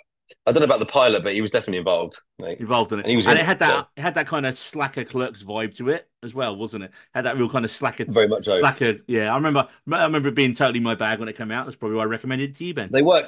I think they. Yeah, they work in like a like a Home Depot, like B and Q kind of place as well. So like you got that innovative ways of slacking off, which is yeah, it was great. But yeah, that was um that was that was a favorite of mine for a while. But this last one that I'm going to talk about was my was one of my out of these three was my favorite out of all these three, uh, mainly because I have an enormous crush or had an enormous crush on Eliza Dushku, uh, and the show was called True Calling. Who didn't? Right? exactly. The Girl Next Door, Um, underrated movie. No, wrong, wrong person, Uh, Jose. Wrong person. Wrong, Jose. Oh wait, Dushku. That's Eliza Cuthbert. That's You're right. Cuthbert You're thinking, from 24. yeah. What's the cheerleader movie? Yeah, with, so I with, think uh, what's her name? No, Bring it stop talking on. about cheerleaders. Stop talking about cheerleaders. Bring it on. Bring bring it Totally on as, as, rated movie. uh, as Eliza Dushku. But she was uh she was Yeah. she played Faith in Buffy Faith. the Vampire Slayer. Yeah. Yep. Um so all right, so True Calling. So so she works in a morgue and Zach Galifianakis was the was the, the was the head morgue guy. Mortician. So what would ha- what sure, if that's what you want to call him. When True Davis, oh that was it, because got the same surname as me, so I was like, yeah. Um, when True Davis starts working at a city morgue, she learns that she can go back in time for one day to help change the fates of both strangers uh, and those close to her. True, assisted by Harrison, her, her irresponsible younger brother, and Davis, her loyal friend, that's Galifianakis, uh, and confidant. So yeah, so what would happen is that the body would come into the morgue. Um, she would like she would go, "Oh no, this guy was shot to death, and that's terrible." And then the character, the the the the, the body would reach out to her, grab her, and say, "Help me!" And then she'd zip back in time to the start of the day, and she'd be like, "Right, and now I've got to find that human person and help them to not either not get shot or find out who did it, or you know, however it sort of pa- pa- pans out." So it's like a non. So it's like the creepy version of Early Edition, basically, oh, where wow. Kyle Chandler would get the newspaper and he'd get and he'd be able to do it the day before. Yeah, yeah. So she like, so like, obviously, like the first time it happens, it's like, oh no, this is terrible. What's happening to me? Uh, but by the time like she gets into the swing of things, she's like pays attention to everything that that is that on the body. She does the autopsy as quick as possible, and then when she gets sent back in time, she can like help help that person not die. Uh, Jason Priestley is in it, and he plays the opposite of her character. And he has to like he's the one trying to kill these people or make sure that their fate actually happens to them. So it gets a little bit like it gets a little bit crazy in there. But uh, yeah, I was gonna, I, love was gonna show. ask, mate, because I think I because I watched a few of them and I was like, because you know, obviously Eliza Dushku, but then it was a procedural, and I was like, so every week, and I was, and I, I kind of got a bit bored by it, and I never got through to the 2nd Mhm. Was there a was there like an overreaching arc that kind of came in, or was it still just Murder Yeah. of the Week? Yeah, so it was Murder of the Week, and then second season when Jason Priestley came into it, you find out that they're like he's working against her, and then that gives you the the story arc for the season. Okay. So he would pop in like every couple of episodes and like be like, "Ha, I'm shit up. working against you." Yeah, he would like throw spanners in the works. But Zach Zach Galifianakis in it, brilliant. Just Was it a comedic role then, Zach Galifianakis? Was it? he was like he had like a he had a crush on you know uh True, and you know he was he would like help her, and she, she I think she became she tells him about her powers, and he's like the only one that sort of believes her. Um, I think, and I think that the True's character was like a failed doctor or something, which is why she's in like why she's in the morgue. I could be 'Cause she can't kill people. because she can't kill people. Um, yeah. So yeah, good, another good show. But I really enjoyed it, and it was right at the height of the the Eliza Dushku just coming off of Buffy and doing like you know just being great. Now, Jose, I believe one of the sh- your first show you're going to talk about has the other person in it who you just badly got confused with. Actually, there's two shows with two characters that, or two actresses that we've mentioned already. Jose, who is one of the lead actresses in Happy Endings, the first show you're going to talk about? Elisha Cuthbert. But Yes. another show that I was going to mention, which uh, but that's you for- next. So wait, wait. So start with your first one. I didn't want to start with happy endings though. I want to start with Girl Boss. You always want to start with happy endings. Boss. No, you end with happy endings. He's got Right. Just do it your order. Just do it your way, Uh, Jose. All right. Uh, let's cut. Yes, happy endings with Elisha Cuthbert. Uh, funny enough, she was uh, along with um, who is now actually a pretty big star, Eliza Coupe and Damon Wayans Jr. At the time, he was pretty new. Uh, he was actually going between uh, New Girl and then ended up getting this show and left New Girl. But uh, there's other characters. Uh, it that show I think was like a Friends, but with everyone being as dumb as Joey. it was it was literally just like everyone had a quirky scenario um very few moments of actually smart ideas but it just was just the right kind of funny and so i mean that's all i could say it had three seasons but it just kind of kept barely getting each season and i think it could have just gone a couple more seasons and it, it was hilarious uh, so zachary knighton casey wilson who i think is one of the i don't know no i don't think so She was on SNL. Yeah, one was season. she Yeah. Oh yeah, but like sh her character, I think was probably one of my favorites because she just had uh funny sayings that I think were the precursor to what teenagers do now with their shortening of words and making no sense. Um, and it was kind of like Yeah, You're getting teenagers confused with Australians. It's- Arvo, and then is. yeah, and then this Adam Pally or Pa- Polly, um, Pally. he's become Pally kind of like Pally. a nice mid star. But I what his character was, he was gay, but like he was stereotypically opposite of good looking gay. He was uh poor and unkempt and had uh, again other zany uh ideas. Who ended he ended up being a chef on a food truck, which I thought Spoilers, Jose. I know, I know. But yeah, this this show, like when you look at individual moments, it just you're like, well, I don't get it. But then when you watch the entire season and the cast coming together, they just had really great rapport, and it's just really fun, dumb humor. So Yeah, I, I remember just- watching this, man. I enjoyed this. It's a Yeah. Decent show. And then Elisha Cuthbert again, I have to mention twice. And yes, again, Jose, you have something with people called Eliza here, don't you? Yes, uh, this one is the one I'm surprised didn't make the cut. It was called Dollhouse. It had two seasons on Fox, and it was That's smart. It, it was just it was too much for uh, executives to understand. Um, I don't know if you recognize names: Amy Acker, Fran Kranz. They were really great. Dude, Um, it's everyone from Buffy and Angel. Mostly yeah, Angel. basically, yeah. this was a Joss Uh, Whedon show. Josh Whedon. Uh, yeah, which is probably why I didn't make the cut. There you go. It, it was basically beautiful people who are secret agents, but then their memories are wiped, so they're like fresh robots. And there was a lot of action and conspiracies, and the whole like the whole premise was it wasn't just missions, but the overall arc was that there was more to this uh agency than was was first, you know, kind of given. You know, you think, oh, it's just an agency and this is how they do things, but then you realize they're very shady, obviously. And then uh, in the second season, uh, I think was one of my favorite parts was Alan Tudyk got involved. Yes. He was And- awesome in it.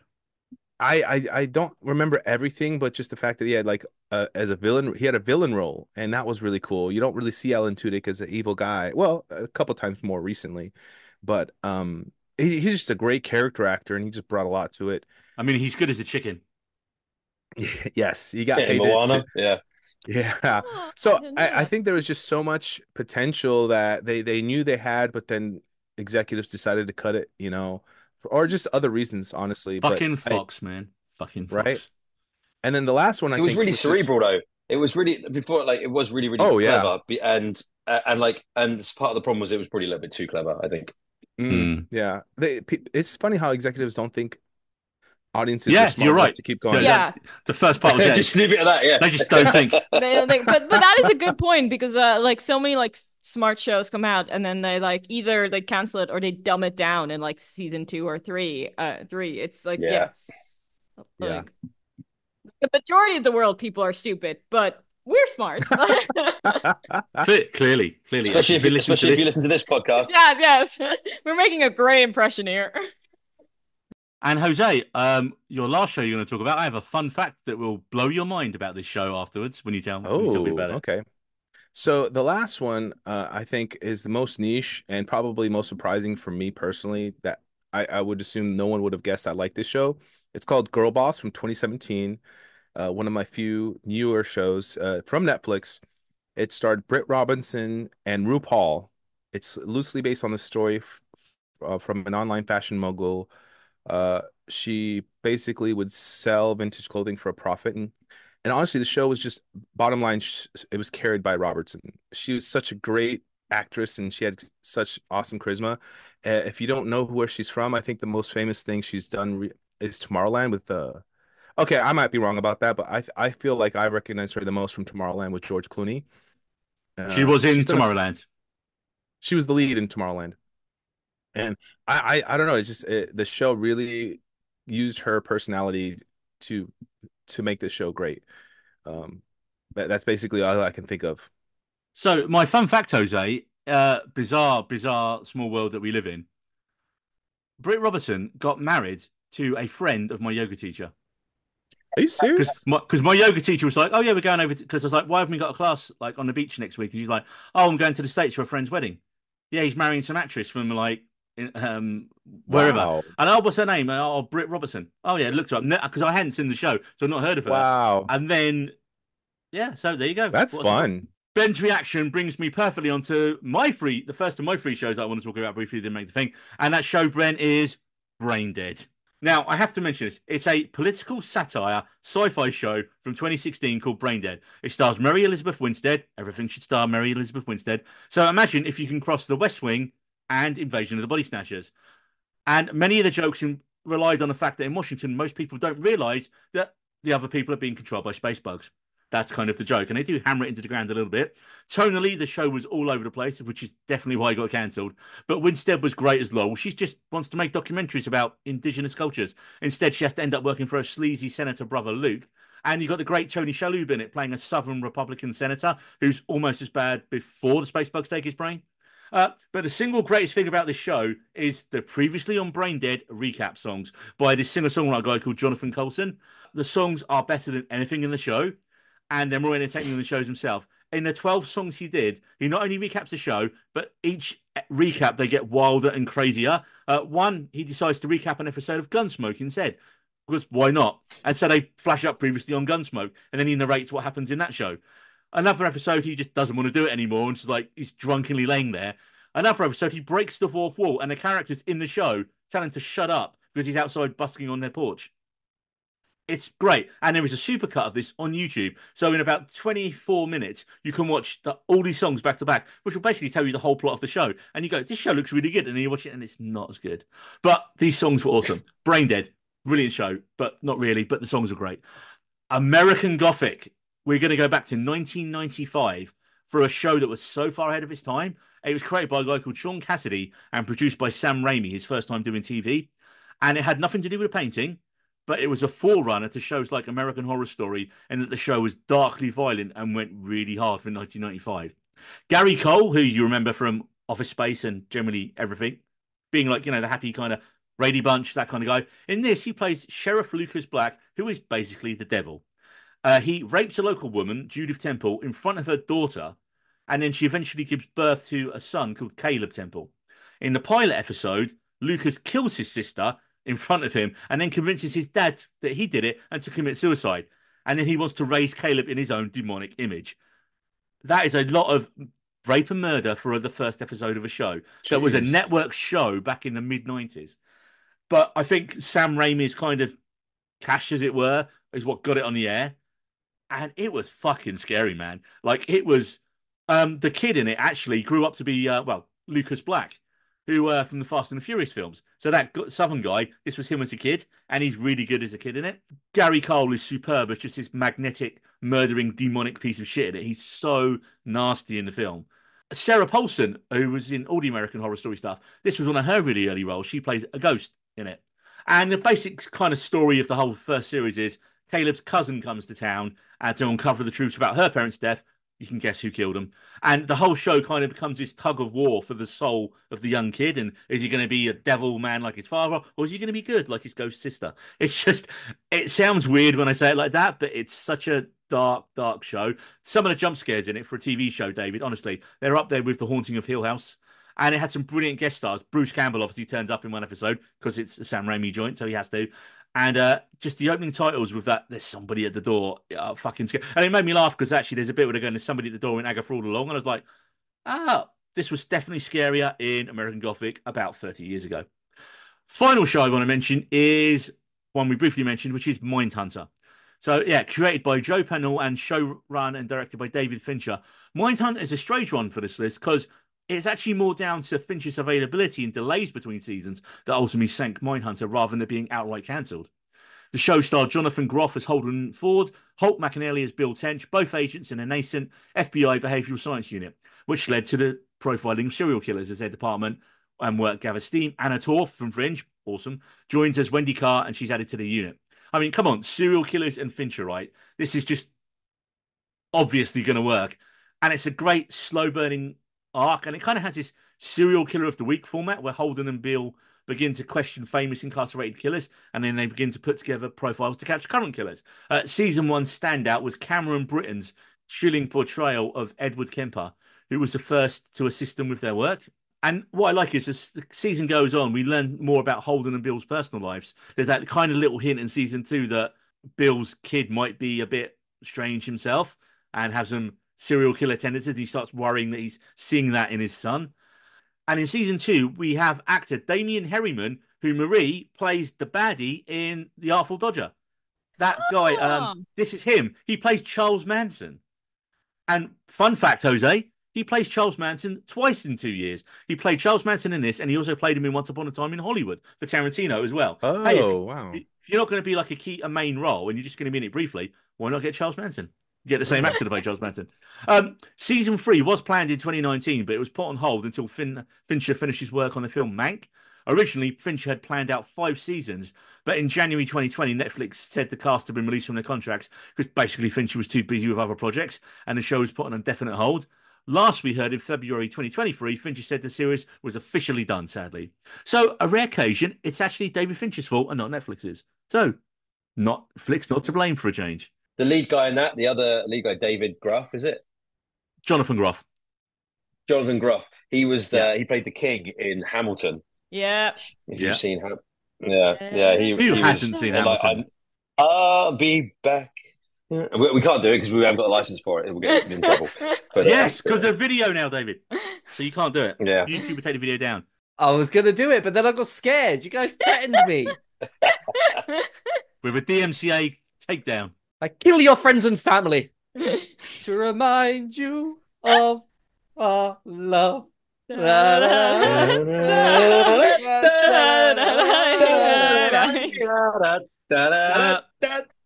And I believe you know how many seconds of stuff we can use before we have to pay money or get sued. That I was mean- under it, right?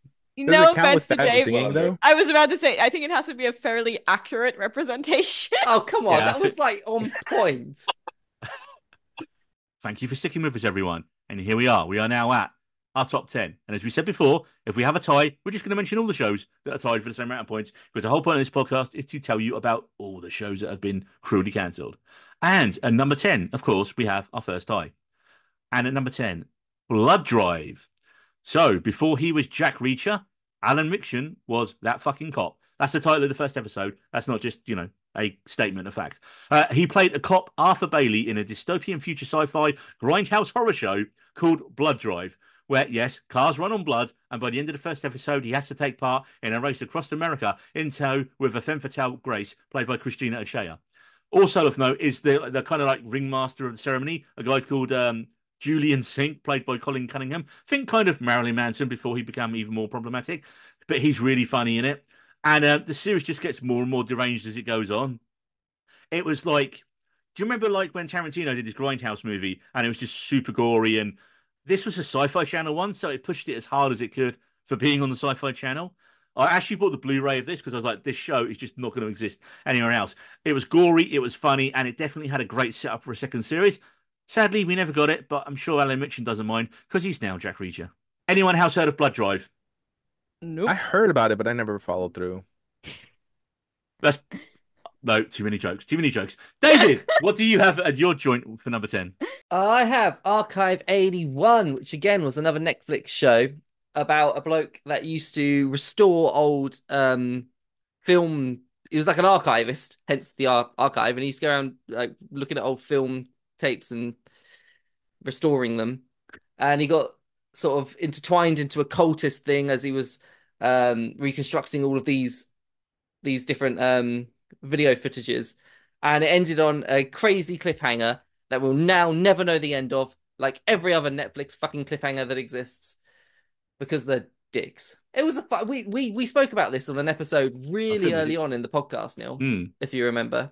Yeah, and yeah. I think um, I tried to pitch it to you and probably did an awful job. I still watched it anyway, watched David. It. You did no, watch did. it. I watched it. Yeah, I watched you watched it.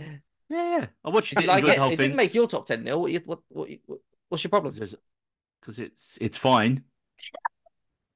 Neil? Oh, burn.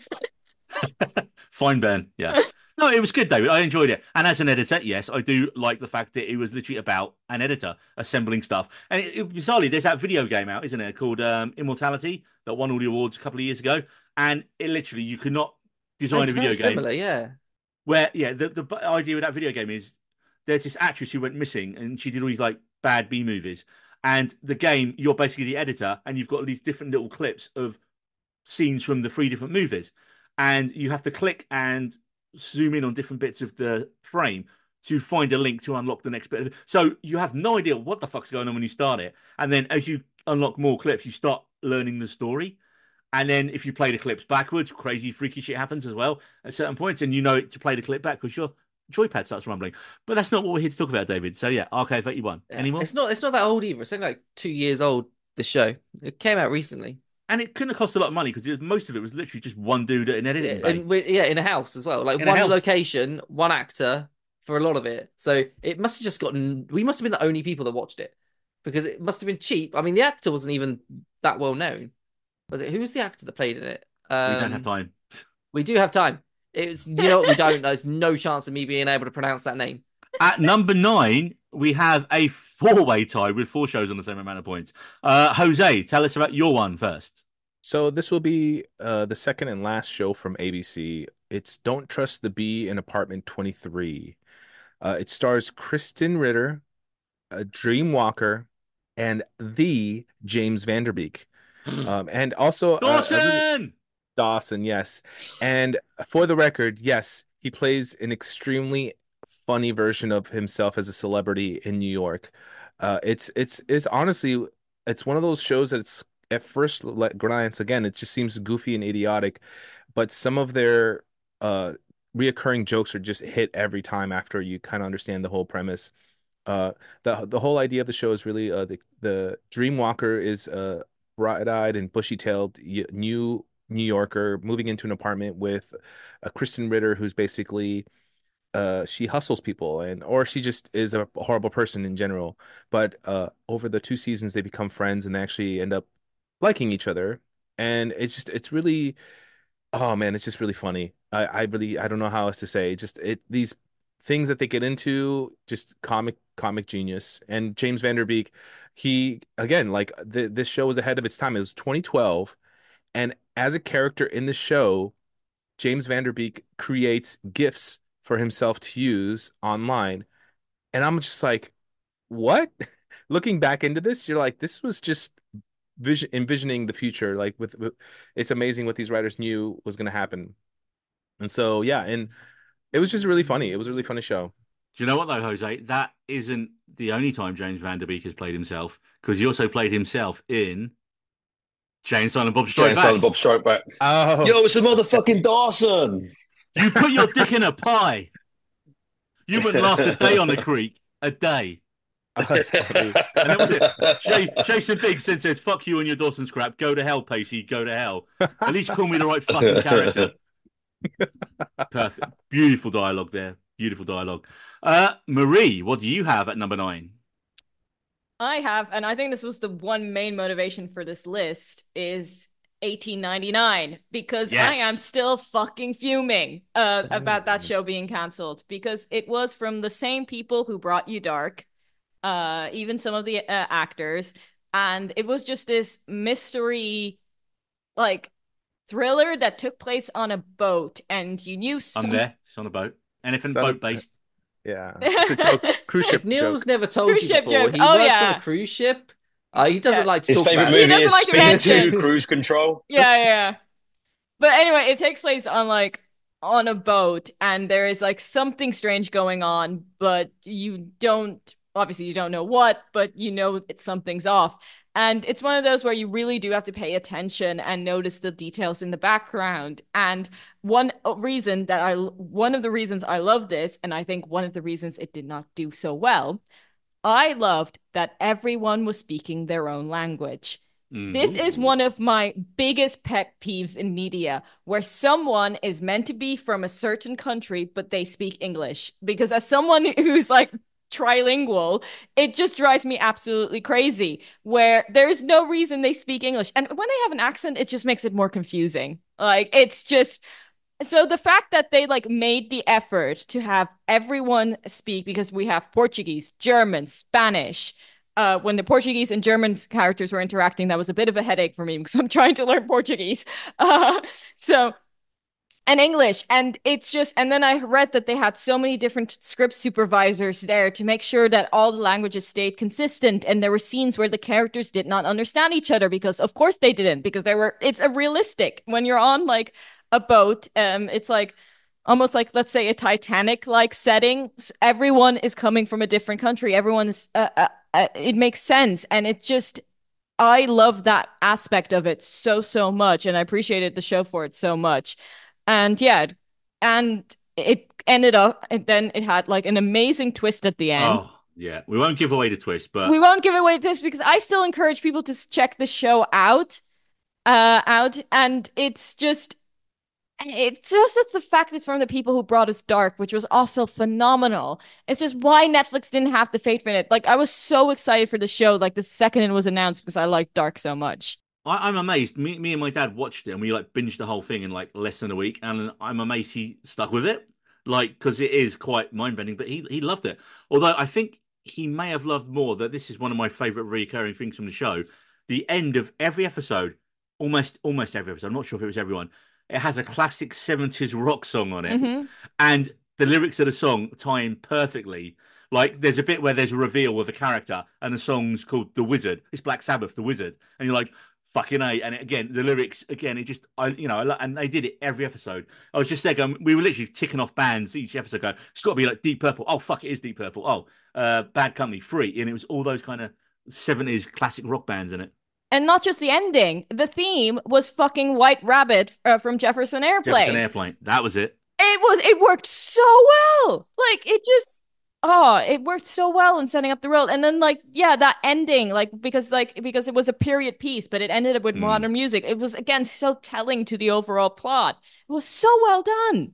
I mean, without giving away the ending, I will say is that the twist at the end of the show would have changed the genre of the show for the second Yeah. season, and I could not wait to see where that show would have gone. I, like, I Exactly. was so annoyed. That's the, that's I think the thing with a cancelled show when they set something up so amazing, and you don't get the payoff to it, and you're just like, "Whoa, we want to know what happens. Tell us, tell us, you absolute bastards." hmm And relax as much as we can. Yeah. Well, Netflix aren't to blame for this next one. Ben, at number nine, you have. This one is one of my favorite childhood shows uh, from a kid. It was the Young Indiana Jones Chronicles. It ran what like ninety two to ninety three. It, was exactly what it says in the tin. It was like in it, it like every episode started with uh, Indiana Jones, like the old Indiana Jones, like bump like running into someone and like telling basically telling him a story of like when he was a kid, and it would he would either be like like eight nine, ten years old, going with his parents somewhere. Uh, and I think he had a tutor as well. Um, you know, like uh, like I think they went like through like through like Africa and places like that. Then like other episodes would be him as a teenager where he joins like the Belgian army underneath an assumed name uh, and fights in the World War. Uh, and like it was a real it was one of those like shows for me it was the first instance of like crossover like true like the movies were so successful that like you know george lucas was like well we could th- there's so many stories we could tell so they had um a guy who would play old indiana jones and then for some of the episodes Harrison Ford was actually in it to like bookend the seasons. Okay. Like it was, it was really good. It was really well done. It was like, like so this this kid like had to travel around the world um, with uh, with his with his family and the adventures and mischief that he would get up to as a kid, or it was like him in the Belgian army fighting in the World War. He becomes a spy at one point, and it gives you this like background to a guy that like who essentially is an art like um like an archaeologist who really has no place running around shooting guns like like swinging on shit with a whip and you know, being a badass. but always room for punching Nazis. Always room. Always room for punching Nazis in any doesn't matter where you are in life, whatever I, time I, period I, you're in. I just been flicking through the Wikipedia because I don't think I ever saw this back in the day. I just Really? think some, somehow it bypassed me. Bypassed me. I said that weird. Bypassed me. And uh, I'm looking at some of the guest stars and people who were in this show. oh, Catherine hit me, go on. Daniel Craig, Amazing. Christopher Lee, Clark Gregg, Thanks. Vanessa Redgrave, Elizabeth Hurley, Anne Heche, Jeffrey Wright, Jason Flemyng, Wow. Sean Pertwee, Jon Pertwee, holy Max von Sydow, Ian McDermott. So like they, uh, yeah, like I said, it was like ninety two to ninety three. They spent a huge amount of money on it. It didn't do very well in the ratings, and I don't know if it was like because they played them all out of out of sequence.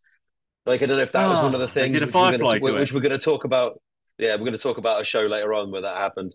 Um, but like, I don't know if that was the case because I definitely remember it being out of sequence in the UK. Oh, it was actually pretty clever because it was designed as like a like an educational piece. So it would you like Indiana Jones would go back and interact with a massive historical figure in some way, shape, or form that you would learn something about, and then you know move on to the next adventure.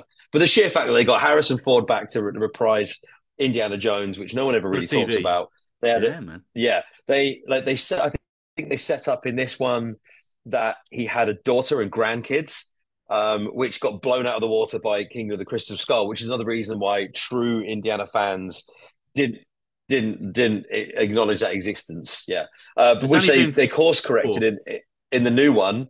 They course corrected in the new one by killing him off in the like in the you know off screen. So it, it kind of almost shifted back to a place where he, you know, Indiana Jones could have a daughter and then she could have grandkids and stuff. So, like, it, it was great, and yeah, it, it was it was bigger than the, the the budget they spent on it. It was it was a bigger idea. It was like George Lucas bringing his like movie ideas to the small screen. I just don't think it it it held up. Do you, do you know? I think the problem with it was Ben. People didn't want to learn about history. People people people hated education. It was the nineties, man. We, we're looking forward, not back. Now, a show that another show that ended on a cliffhanger, almost a literal cliffhanger. David, what do you have at number nine? I've got the NBC show about the infamous Hannibal Lecter called aptly named Hannibal. Uh, and it's starring uh, Mads Mikkelsen as the man himself. And it also had uh, Hugh Dancy in it as Will Graham.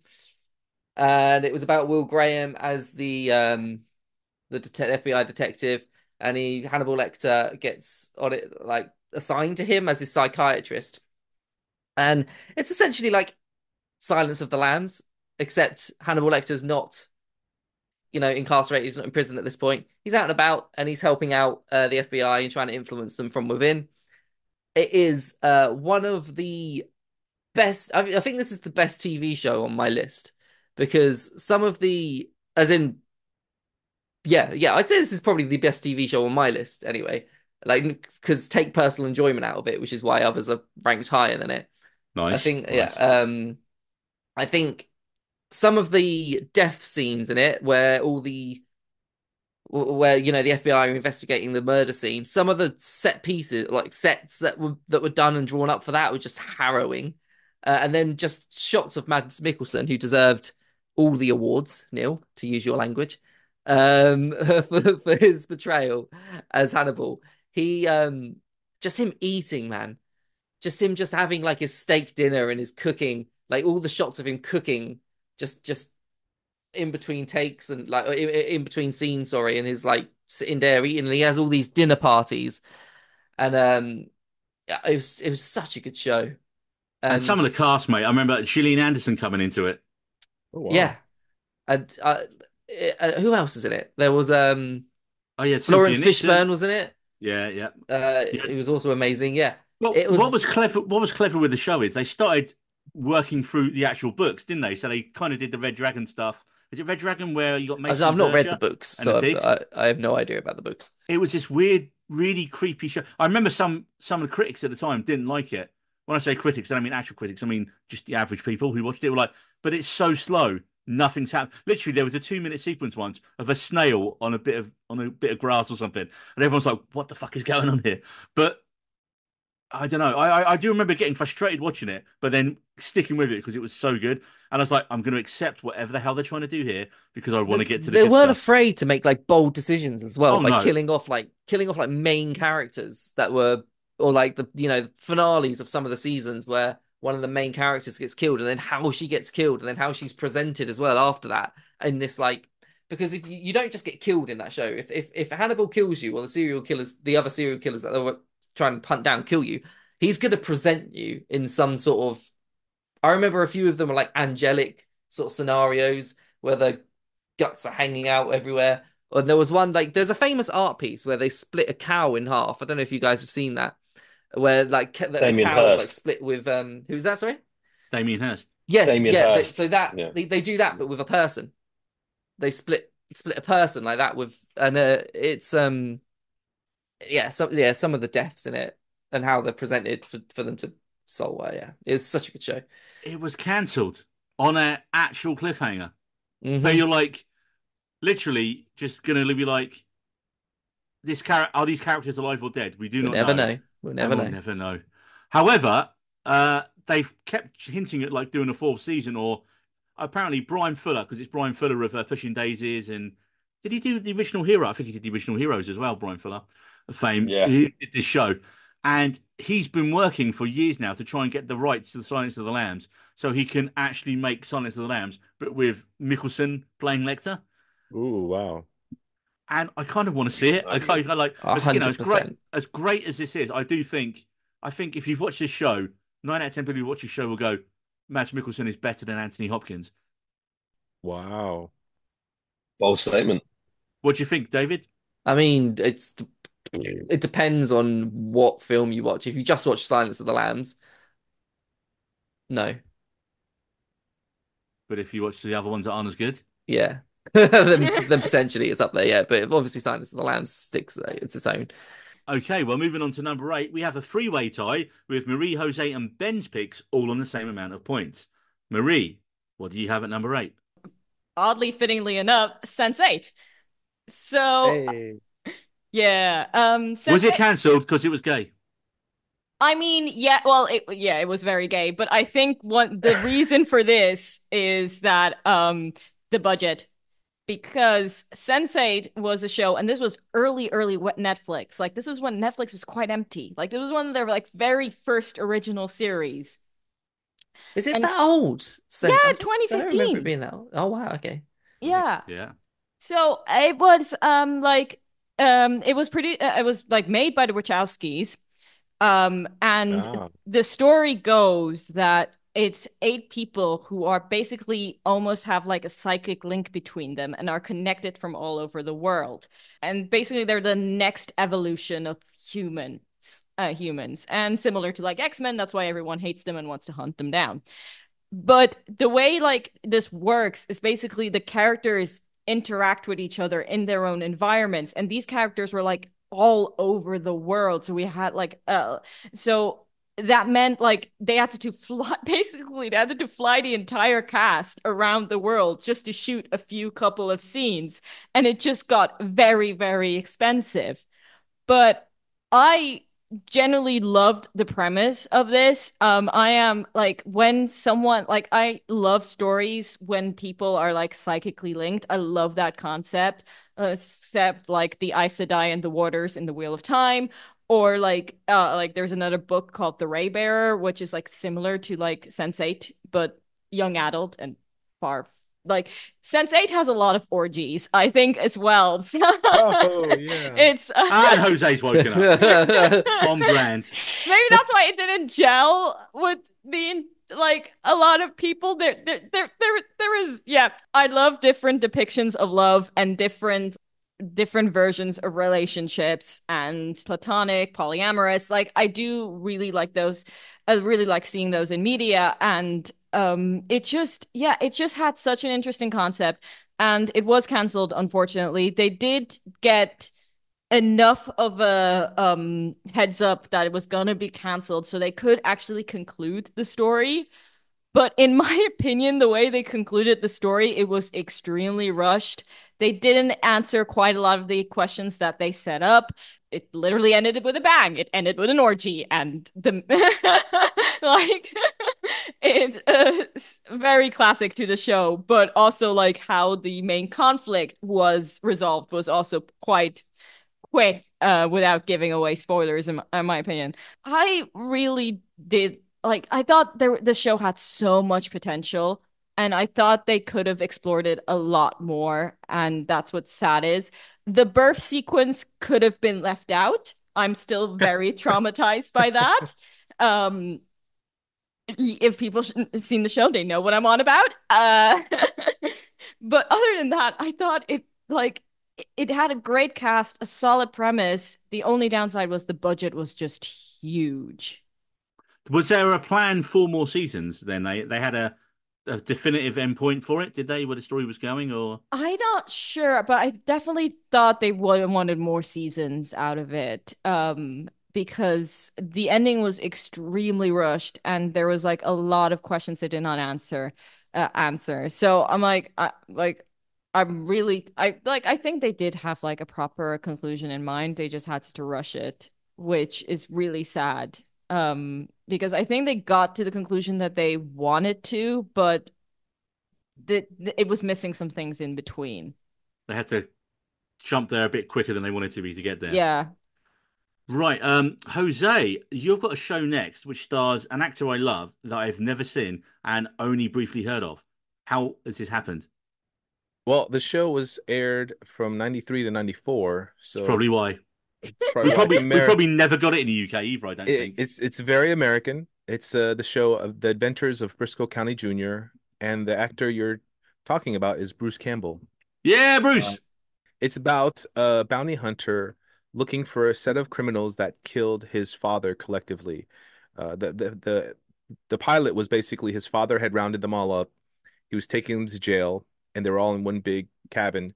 And then they all escaped and killed his father, basically going for revenge as a bounty hunter. Because he was uh, apparently a very well educated bounty hunter, Harvard educated lawyer who decided he wanted to change his career to hunt down these uh, bandits.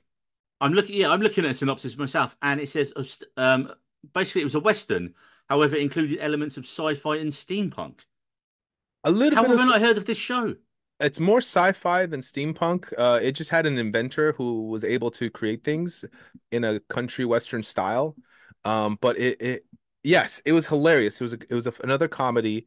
Um, it, it it lasted about 27 episodes, I believe, and so it went through a phase. When I did some research again on this show, uh, they they realized it was one of those things where you were filming and and writing the show as the season went on. So about halfway through, they decided to cut out the sci-fi aspect of it, and it became more of a traditional Western. And is that why it got cancelled? I don't know. It, it I enjoyed it. Uh, I think the sci-fi aspect really drew me in as as it being more than just a Western. But Jose, at the end of the 27 episodes, did it have a definitive ending, or was it just cancelled when they had more to go? That's the thing. I don't remember. I don't remember the ending of the show. I just think it, it ran its season, and then they just never really uh renewed it. Because I mean, that's, head, I that's been called cancelled. yeah. Well, no, but I'm saying I don't think it ended on a on a cliffhanger. So I don't know if they knew they were. But you didn't watch to- it, so you don't know. Oh, I did watch it. I, I remember You watching did? it. Plot twist. I did watch it. I watched it enough to where I thought it was two different seasons because of the fact that they kind of got away from the sci-fi. And they did became more of a 27 episodes in one season, 27. That's a lot. Yeah, that kind of tells you back then there was just a whole different world. All right, so uh, number eight. This is one of the one of the cancellations which which irked me horrendously when uh, when they got cancelled. You get cream for that. Uh, it's a show called Flash. Shut your face. Uh, there's uh, it's a show called Flash Forward. It was uh, basically the show in a nutshell was um, a a phenomenon happens around the world. You're seeing it from the uh, the point of view of the residents of Los Angeles. Uh, I'm just going to read the synopsis there as they go about their daily uh, duties, unaware that a mysterious about is about to change their lives. FBI agents Mark Benford, uh, played by Joseph Fiennes, uh, and Demetri Noh, um, who is played by John Cho. John Cho. Um, so John Cho, like a couple of couple of heavy hitters there straight away. Um, uh, are in a car chase. Uh, Benford's physician wife in the middle of surgery. Benford's friend Aaron Stark works on power lines above high ground. Suddenly, something causes everybody in the world to black out for just over two minutes.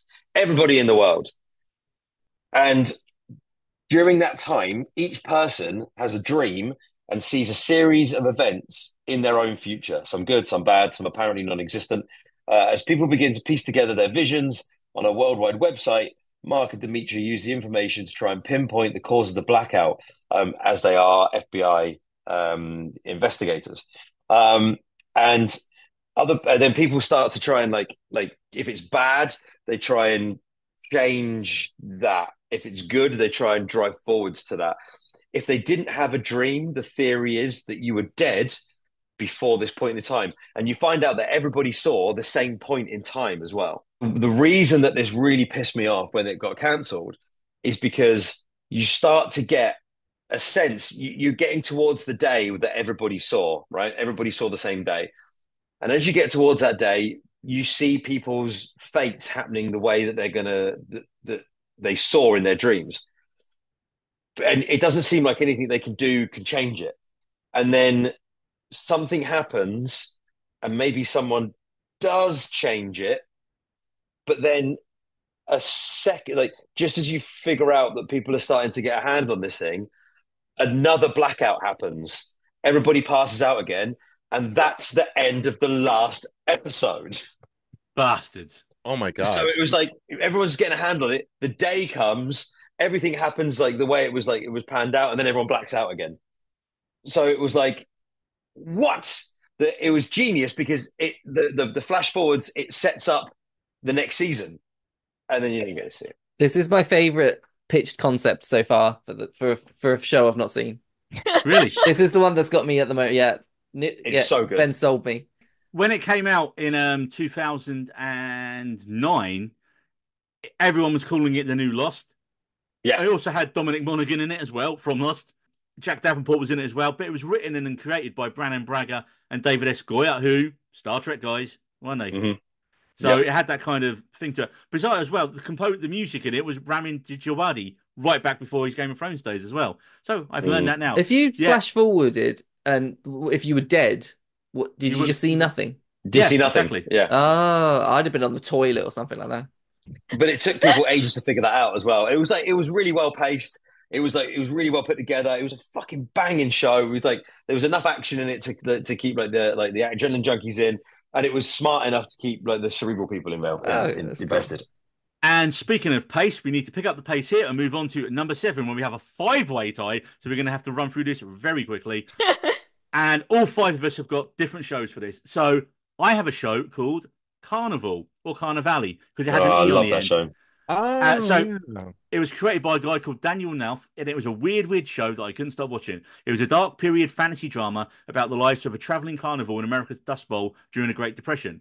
There were struggles between good and evil, and a mythology that drew from Christianity, the Masons, and even the Knights Templar.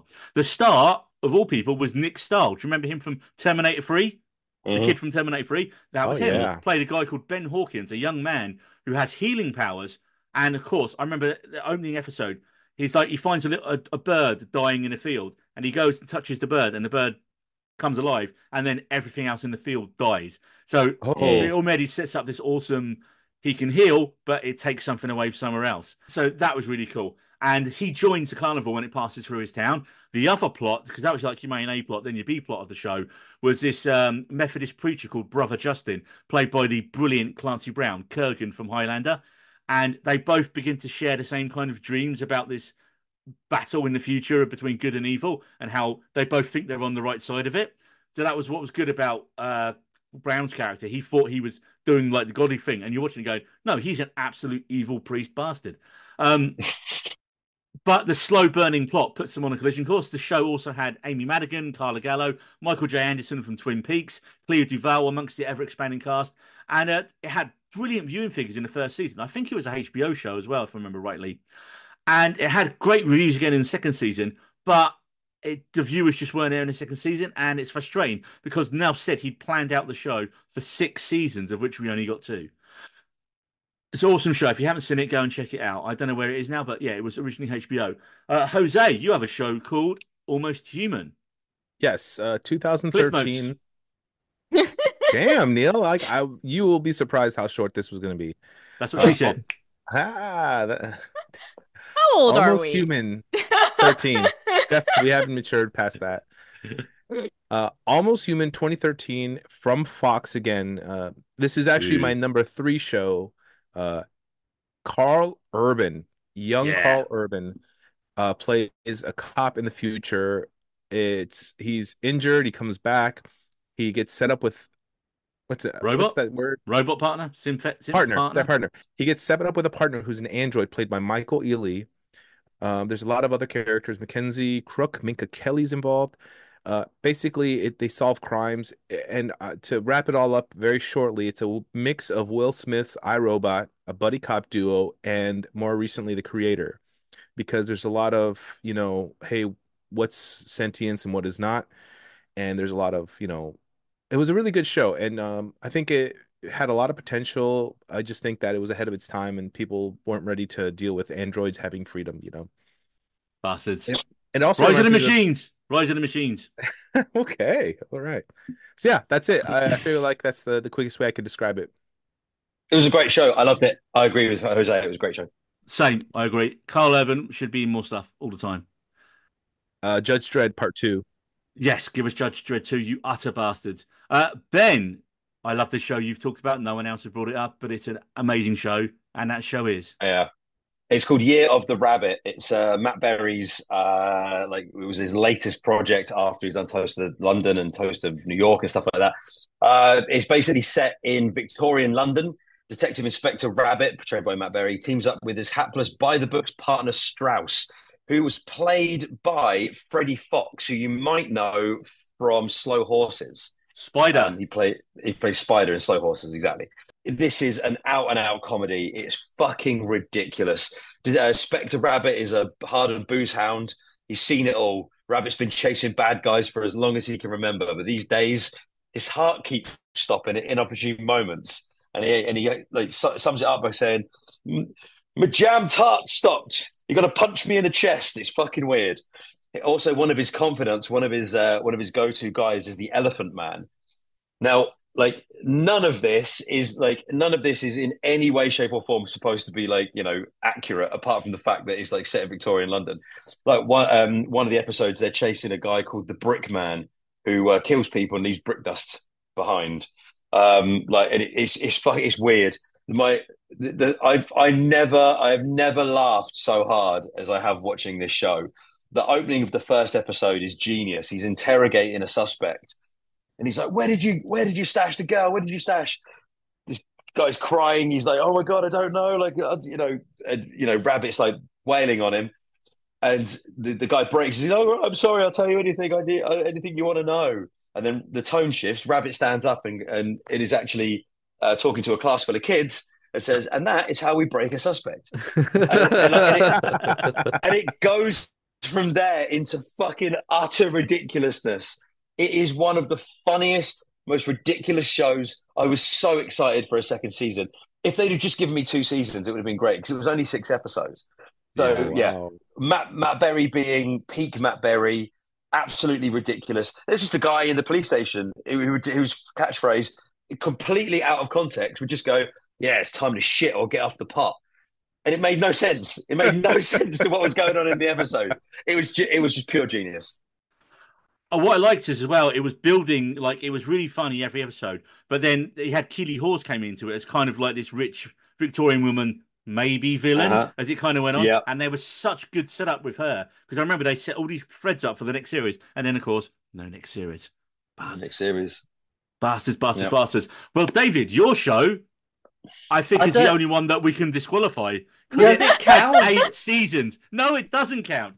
It eight Yeah, but it was still cancelled. If you Google it, it says it was cancelled. After They just six decided they just didn't want to eight do it anymore. seasons, I think. wasn't it?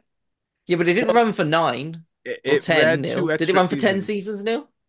Most shows do not need to run for 10 seasons.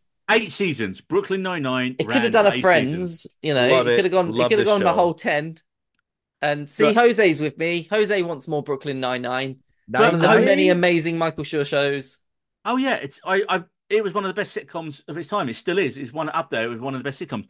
But it ran for seven great seasons. But And was then- it cancelled or not, Neil? That's the question. Yes, David, because they they but they didn't want There to do it you go. anymore. So it's Not ne- on my not- list. Not ABC not want to do it. They didn't want to do it anymore because COVID meant that half the people couldn't be on the set for the final series. Scully and Oh. Hitchcock were not there. They were just on iPads the whole season. And it was shot in the peak of COVID. And you're just like, it's just people in the rooms. And it's you could you could just tell it didn't work. There wasn't that same energy that the previous seasons had. And also, Half the There was a world's lot- dying. well, exactly, half the world's dying. And also there was a lot of a lot of police brutality going on in America at that time. You know, more so than usual.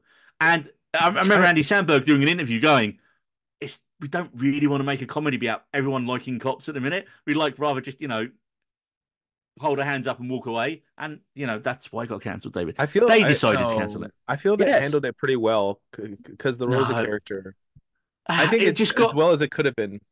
As well as it could have been. I just don't think they. I think they should have ended it at seven because it, it didn't Rosa. work because of COVID and it was a little bit preachy in the last season, and it had to be, and it had to be a bit more. serious. Rosa is Mirabel in Encanto, which is also a good film. Wow. There what you a way to shift that conversation. Well, we're going to shift it once more because we're going to shift it to a show, Marie's show at number seven, that I have never heard of. Yeah. And I think only maybe David has heard of this one. Have I? Yeah. I haven't checked the list. Brilliant. Yeah, so um this show, and I think it might be the only animated one on our list. So this is called Oh. The Owl House, and it was put out by Disney, and it is a beautiful, whimsical show where a human falls through a portal and finds herself in a world called the Boiling Isles, which is like this fairy tale with a horror twist. A fairy tale world with a horror twist.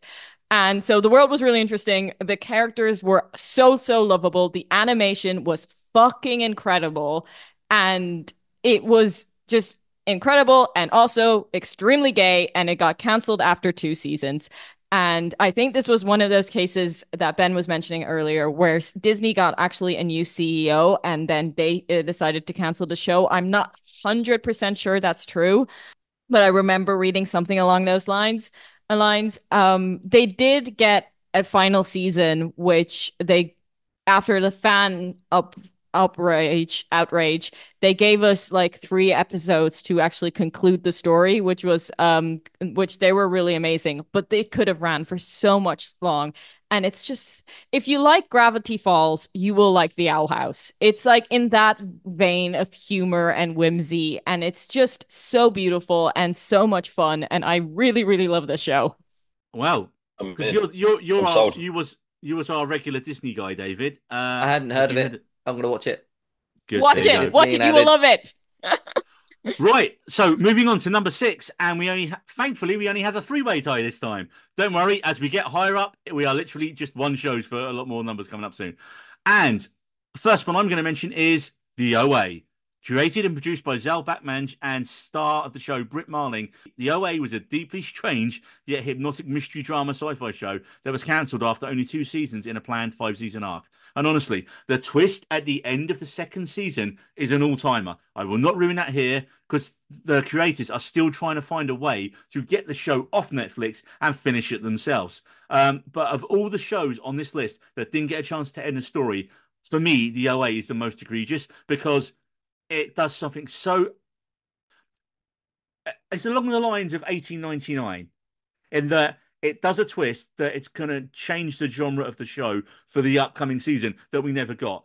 But even before that twist at the end of the second series, as Stefan from Saturday Night Live would say, this show has everything. It's got a psychic octopus called Old Night. It's got a title card for the show that comes up over 70 minutes into the pilot episode.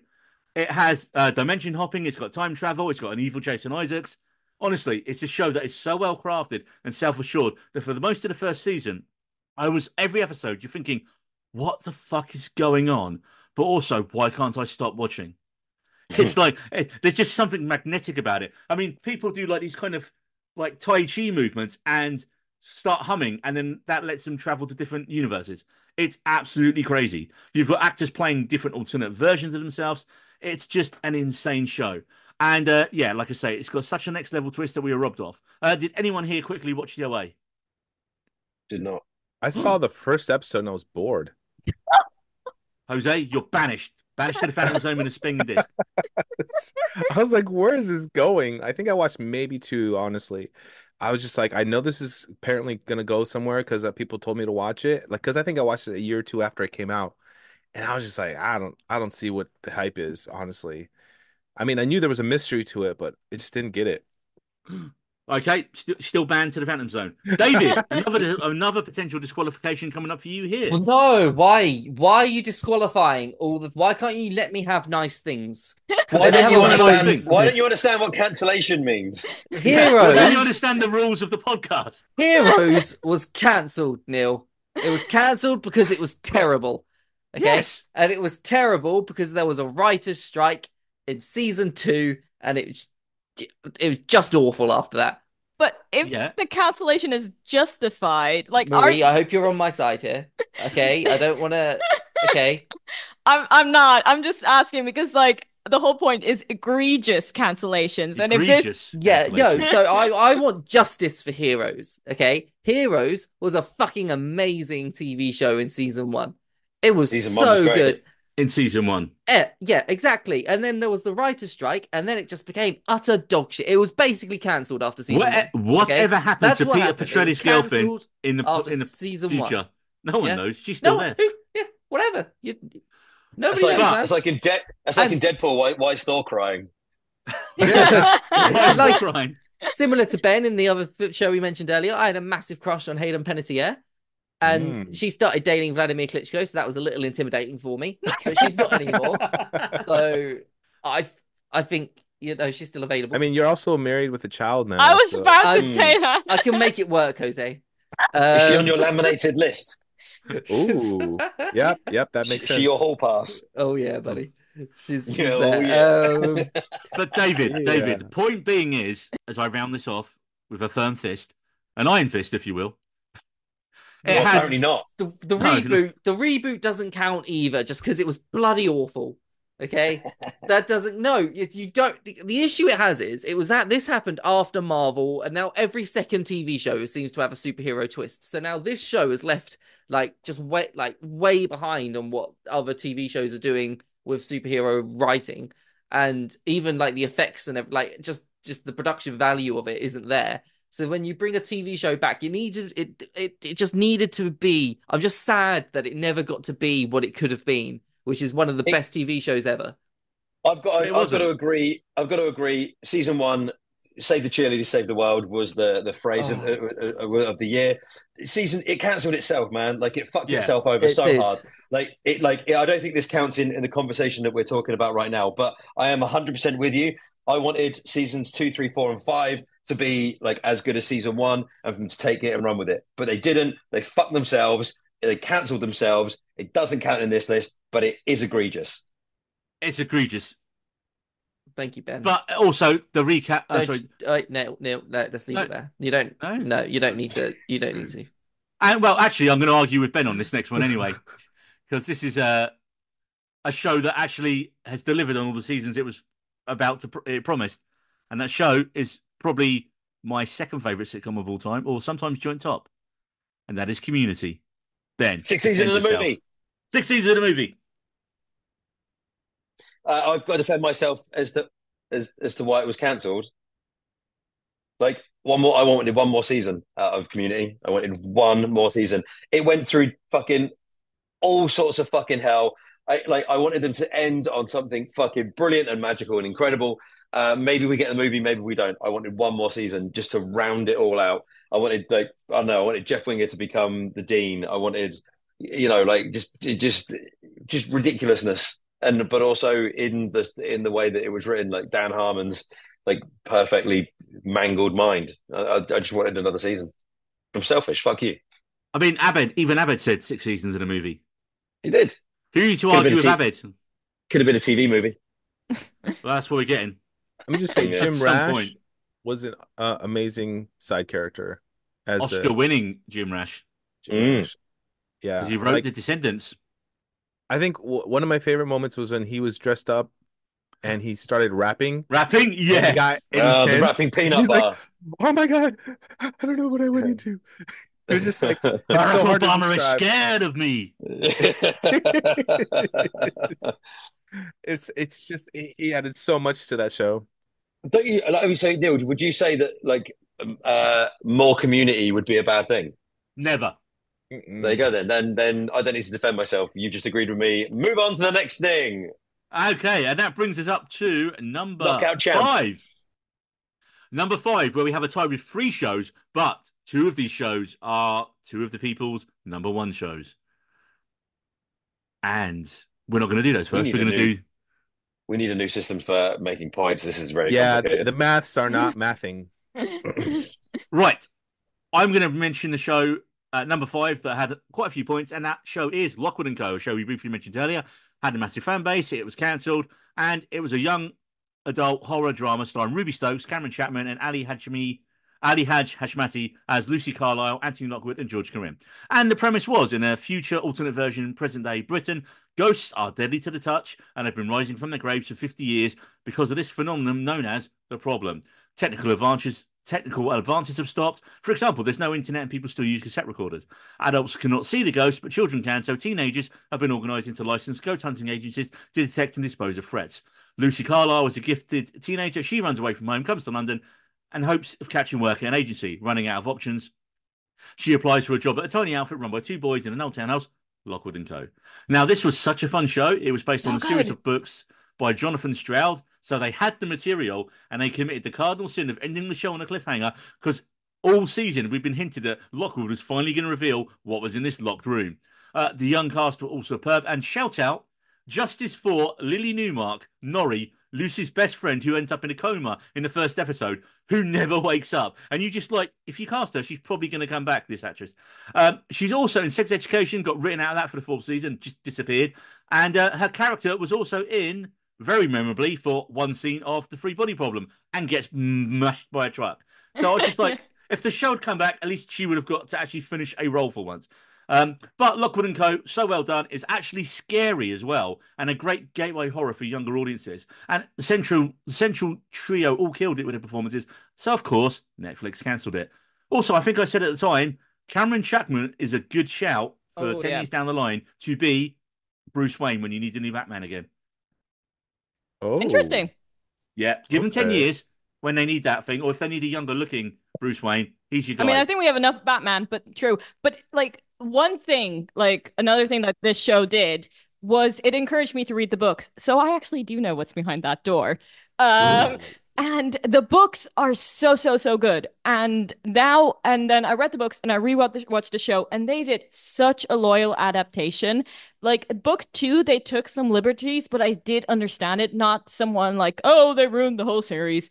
Um, no, uh, they um did like they did some uh, creative changes. Um, but I like they adapted book one like extremely loyal because season one was book one and book two, and it's so annoying because there are only six books, so they could have told this story in three seasons, and they just canceled it as it did. So I highly recommend checking out the books. And if you also want to like talk about justice, Ruby Stokes, who played Lucy, she was actually the original Francesca in Bridgerton, and she left because of Lockwood and Co.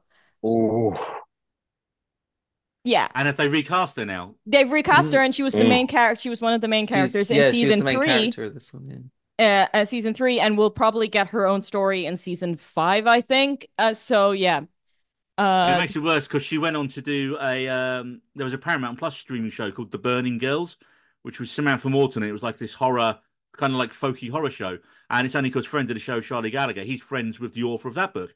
And then we watched the show, and it wasn't very good. She was great in it. Samantha Morton was great in it, and that's one of these shows that was cancelled I mean, it was only one book, one season anyway, but it's one that's just been wiped off the service again. It's like nowhere. Show doesn't exist. I. Justice for Ruby Stokes. You mix up Now, the characters. Speaking of justice, Marie, this is your number one show. Gentlemen, prepare yourselves.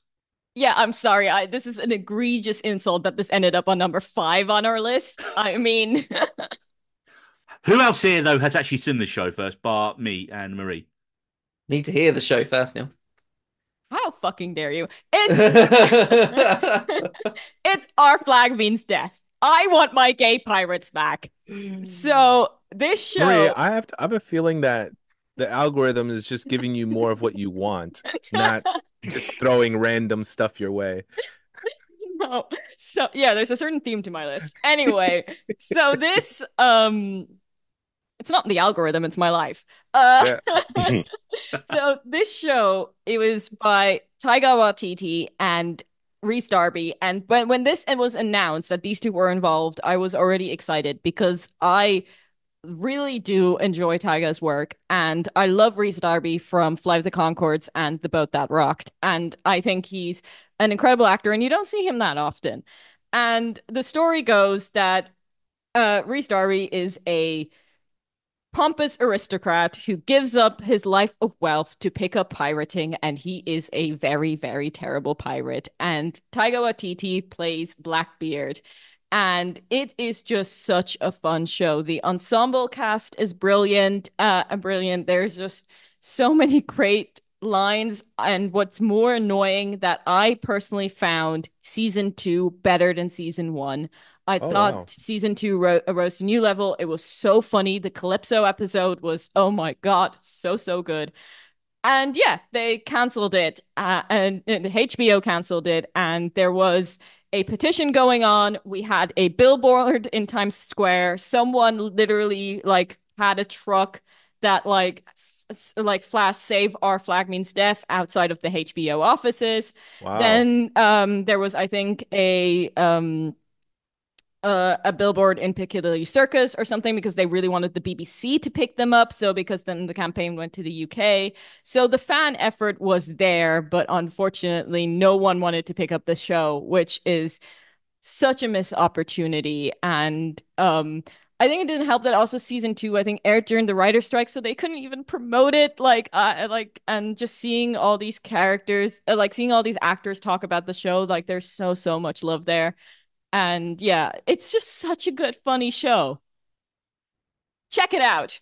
It's got Hodor. It's got Hodor from Game of Thrones in it. as a Yes. gay pirate. What more do you need? Yeah. I, I have actually the- seen the first like three, three, four episodes of the show. And So it- you're the seen the I've seen David. the- it- I well, I'm one of the reasons. Yeah, I didn't vibe with it. If I'm honest, I'm sorry. I saw the first season. I thought it was fantastic. I hadn't watched the second season because I knew it got cancelled. So I was like, I didn't want to disappoint myself by watching the second season, Oh, getting to getting to the end of it and being bummed out. You know, But that's another thing. The second season didn't come on BBC. Like season one was on BBC, but season two did never came on BBC nor Disney Plus. So and it was like Yeah. a year's So- wait yeah. as well for it to Yeah. come over here. Yeah, but it was like it was genius because it was like it like it it scared a lot of people because it is very queer. But I think like I think it like like pirates and uh, and, uh, like mashing like Historically but, like, queer. Yeah. Yeah, yeah. So like There's it was, evidence but there. it was it, for me. For me, it was like it it rang true of like Hot Fuzz. Where Yeah. they were they're writing the story, and then halfway through writing the story, they're like, "Oh, actually, the story, the love story is between the two guys. It's Mm-hmm. between like you know Nick Frost and Simon Pegg." And then so like I was I had flashbacks that, and, and Fuzz is one of my favorite movies of all time, and like watching this show and just uh, like seeing like the development of Rhys Darby's character and like and what how you learn about him and like he's like like the the whole story is him running away from his married life to like hang out with guys on a boat. Like it's fucking like even just that as a synopsis, I'm like I'm in. I'm gonna watch the shit out of this. It's fucking great. But honestly, I couldn't bring myself to watch the second season because I knew it was cancelled and I was gutted. And I, I, I'm kind of saving it. I'm like, I'm going to watch it at some point and I'm going to be bummed out when I get to the end of it because it's fucking brilliant. it does kind of end on like a kind of sort of conclusion, but uh, they could have given us more seasons. And I wanted a Fly the Conchords cameo. Like they Yeah. they needed Oh, a Fly the. Conchords cameo. As I was just mentioned, as we briefly mentioned earlier, Taika's most recent show uh, Time Bandits has just been cancelled as well. And Taika was in that playing the Supreme Being, and Jermaine Mm. Clement was in it playing Pure Evil. And I was like, come on, season two, you have to get Murray in it, and you also have to get uh, Brett in it. And now that's not going to happen because they've cancelled it as well. You utter bastards. Is YTT on a bit of like a down, No, like a down? I just think it's do public Like, opinion is of him. this- I honestly think it's public opinion. Next Goal Wins. Great little film. Yes. Back to like doing what he does. I Mm. think I think the only thing that he really can take crap for is his acting in some films where he's coming in a bit part role and people don't like him because of him coming in playing that kind of role. But his own content, his own shows. th- No, there hasn't been a thing. For Love and Thunder is the one thing that a lot of people hate. Mhm. Yeah, Even I didn't Well, hate it. I just didn't think it was any good. Problem is, I think Ragnarok is so good. yeah. And they, you Yeah. know, the one two of Ragnarok and Jojo Rabbit back to back. You know, you know, he literally won an fucking Oscar for epic. yeah. it's incredible. And then suddenly, I think the media just got tired of him being everywhere and started shitting on him basically. And his content, Yeah, I mean- his stuff's just as good, man.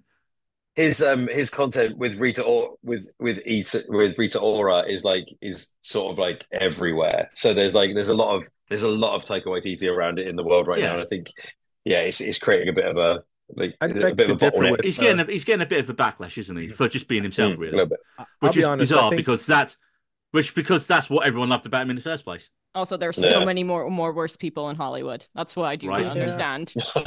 I would just Yeah. say love Thor Love and Thunder was not as good as oh Thor. you stopped me in my She said tracks. there's she said there was many more people, many worse people in, in Hollywood. I just had a cough. Ah, yeah. Uh, Thor: Love and Thunder is probably the only one that I really just did not like, I, and it seemed like he just phoned that one in. Honestly, hmm um, it could have been better, but yeah, I mean, Taika Waititi does put out really great stuff. Yeah. Right. And David, your number one show, which is uh, our joint number Again, five. I'm sad that you guys didn't put it even anywhere near your lists. Has every has anyone seen this film? It's the Santa show. Sorry, not film. We're not talking films. Films don't get cancelled. Uh, Santa Clarita Diet. That girl Diet. says hello. Santa Clarita Diet. Hands up. Yes, Nope. Yeah, I heard Ben. about it should it. been on your top ten, Heard Ben. really Why is it on your top ten? it was it was good. You know what? I, it didn't make my top ten because I didn't realize it was cancelled. Dude, No. that's the problem I had. That was the What? heartache I had with it. Okay, that's the thing. I'll get into it. Let me explain what Santa Clarita Diet is. So it's uh, it's starring Drew Barrymore, Drew, Bar- uh, Drew Barrymore, and uh, Tim- Ti- Timothy Olyphant. Uh, again, I have a massive crush on uh, Timothy Olyphant. So Well learned, well learned. and he's and he's also in Deadwood, isn't he, Neil? You little cocksucker.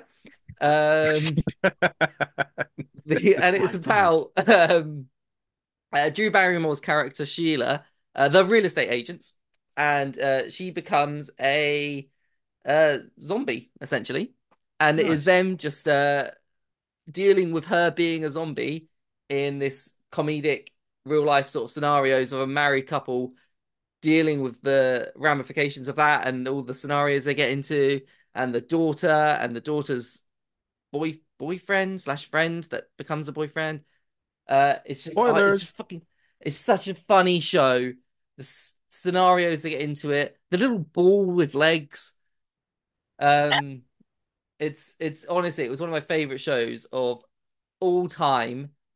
Uh, from a com like comedy shows of all time, and it got cancelled. And I like Ben. I didn't even fucking realize it was cancelled because there was nothing. It just they just cut that. Didn't say anything. I so I've only found out by a few years ago googling when's the next season of Santa Clarita Diet coming out because I was having like withdrawal symptoms. I wanted, you know, I was I needed to see that cliffhanger because it ended on a massive cliffhanger as well. And then it's like, oh, it's been cancelled. Could you just imagine the heartbreak I went through that day? Yes, yes, I can. That- I mean, it was three, crushing. three seasons from 2017 to 2020, so it probably just suffered the same fate of many shows with uh, COVID. It- you know Jose, that's probably accurate. But can you like uh, just Does imagine my feel better? heartache, Jose? It doesn't I- make me feel better, no.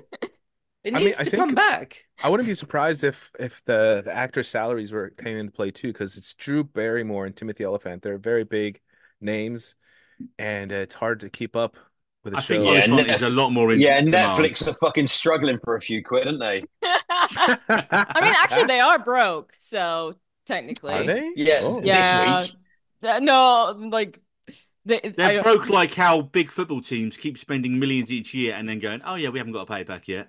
Oh, Oh, it's gotcha, such a gotcha. funny show, man. Like she'd just casually kill someone and start eating them, and he'd have to like. He was the best husband. Like I'd He love him to was, be my he? husband. He, ju- He like, was he was so dedicated husband. to her as well, and it was like what's funny about it is that like, marriage is on the rocks when she dies, and it's like how they could become closer as he's like having to like pick up after her, like you know, like you know, eating people. It's fucking excellent. It's like and the, the kid, the, the boy next door kid, like he's fucking great. Like so honestly, uh, I, I it's like it's cross between like it's like the Burbs. Kind of like no, um, Oh, yeah, that's man. the, the Tom Hanks movie, right? The, it's like Yeah. Burbs crossed with like, God, I don't even know what to cross it with. What's that fucking um? A just give zombie. me like, yeah, Zombie. any, any, I any- Zombie. any- That's why I never watched Santa Clarita iZombie. Yeah, yeah. because iZombie was out at the same time. It was either one Yeah. or the other a zombie show. That that lasted a couple seasons, right? Because I liked it and I watched Yeah, the yeah, yeah. two. Yeah, You yeah. should just check it out, Marie. Even if just check it out. Honestly, everyone, every Just single for- one of you. just for it. Timothy it's Olyphant's so, hair. It's so funny. yeah. Okay, well, here is a show that I think David and Marie, I don't think will know because of their age, and the mm-hmm. other three of us will know. And that show, our number four, surprisingly high on the list because it was high on mine and Jose's lists, and that is a show from Fox from 1995 called Space Above and Beyond. Terrible title. I wouldn't say that. It's a terrible title. It's a very 90s title. Very 90s title. Oh, so this is a sci-fi action show that opens with, of all people, Jim from Neighbours, Alan Dale, and then he gets horribly murdered, uh, giving a speech on the planet. So, So for the It- record, he's the dad of Penny from Lost. Not Oh, Penny's yeah. boat. Yes. he's also most known in the UK because he's he was Jim in Neighbours, which is like an Oh. Aussie sitcom that is on every day for about the last thirty years. See, In, uh, that part I didn't know.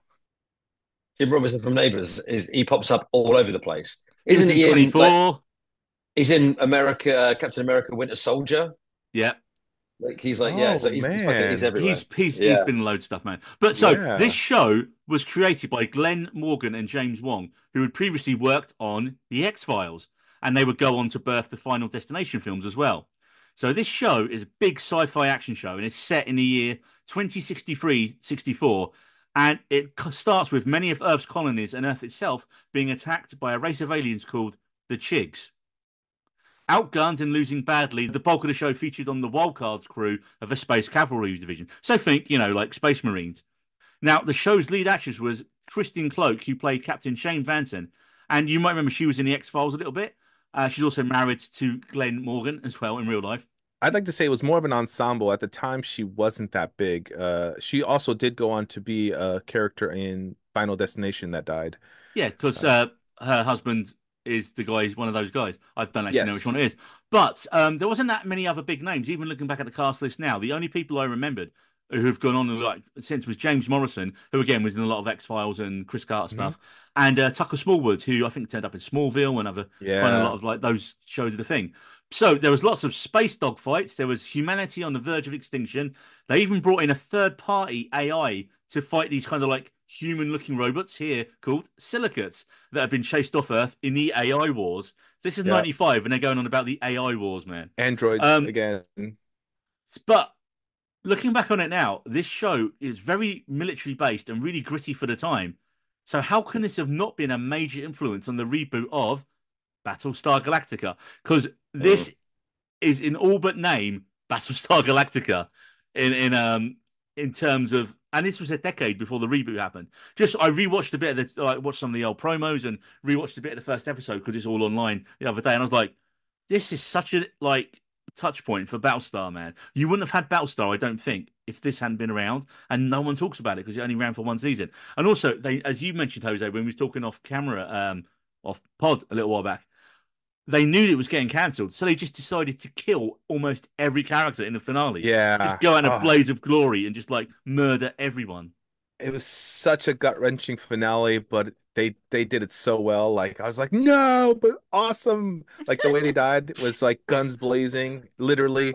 It was it was a good it was a good ending. It was sad to see it go, but I guess since they knew, they just decided, fuck it, you know, let's just go out, you know. And it, was just a really good show. They they had a lot of land action too, like they didn't stay everything in space, and just the sets of the planes, like the dock, was really cool, honestly.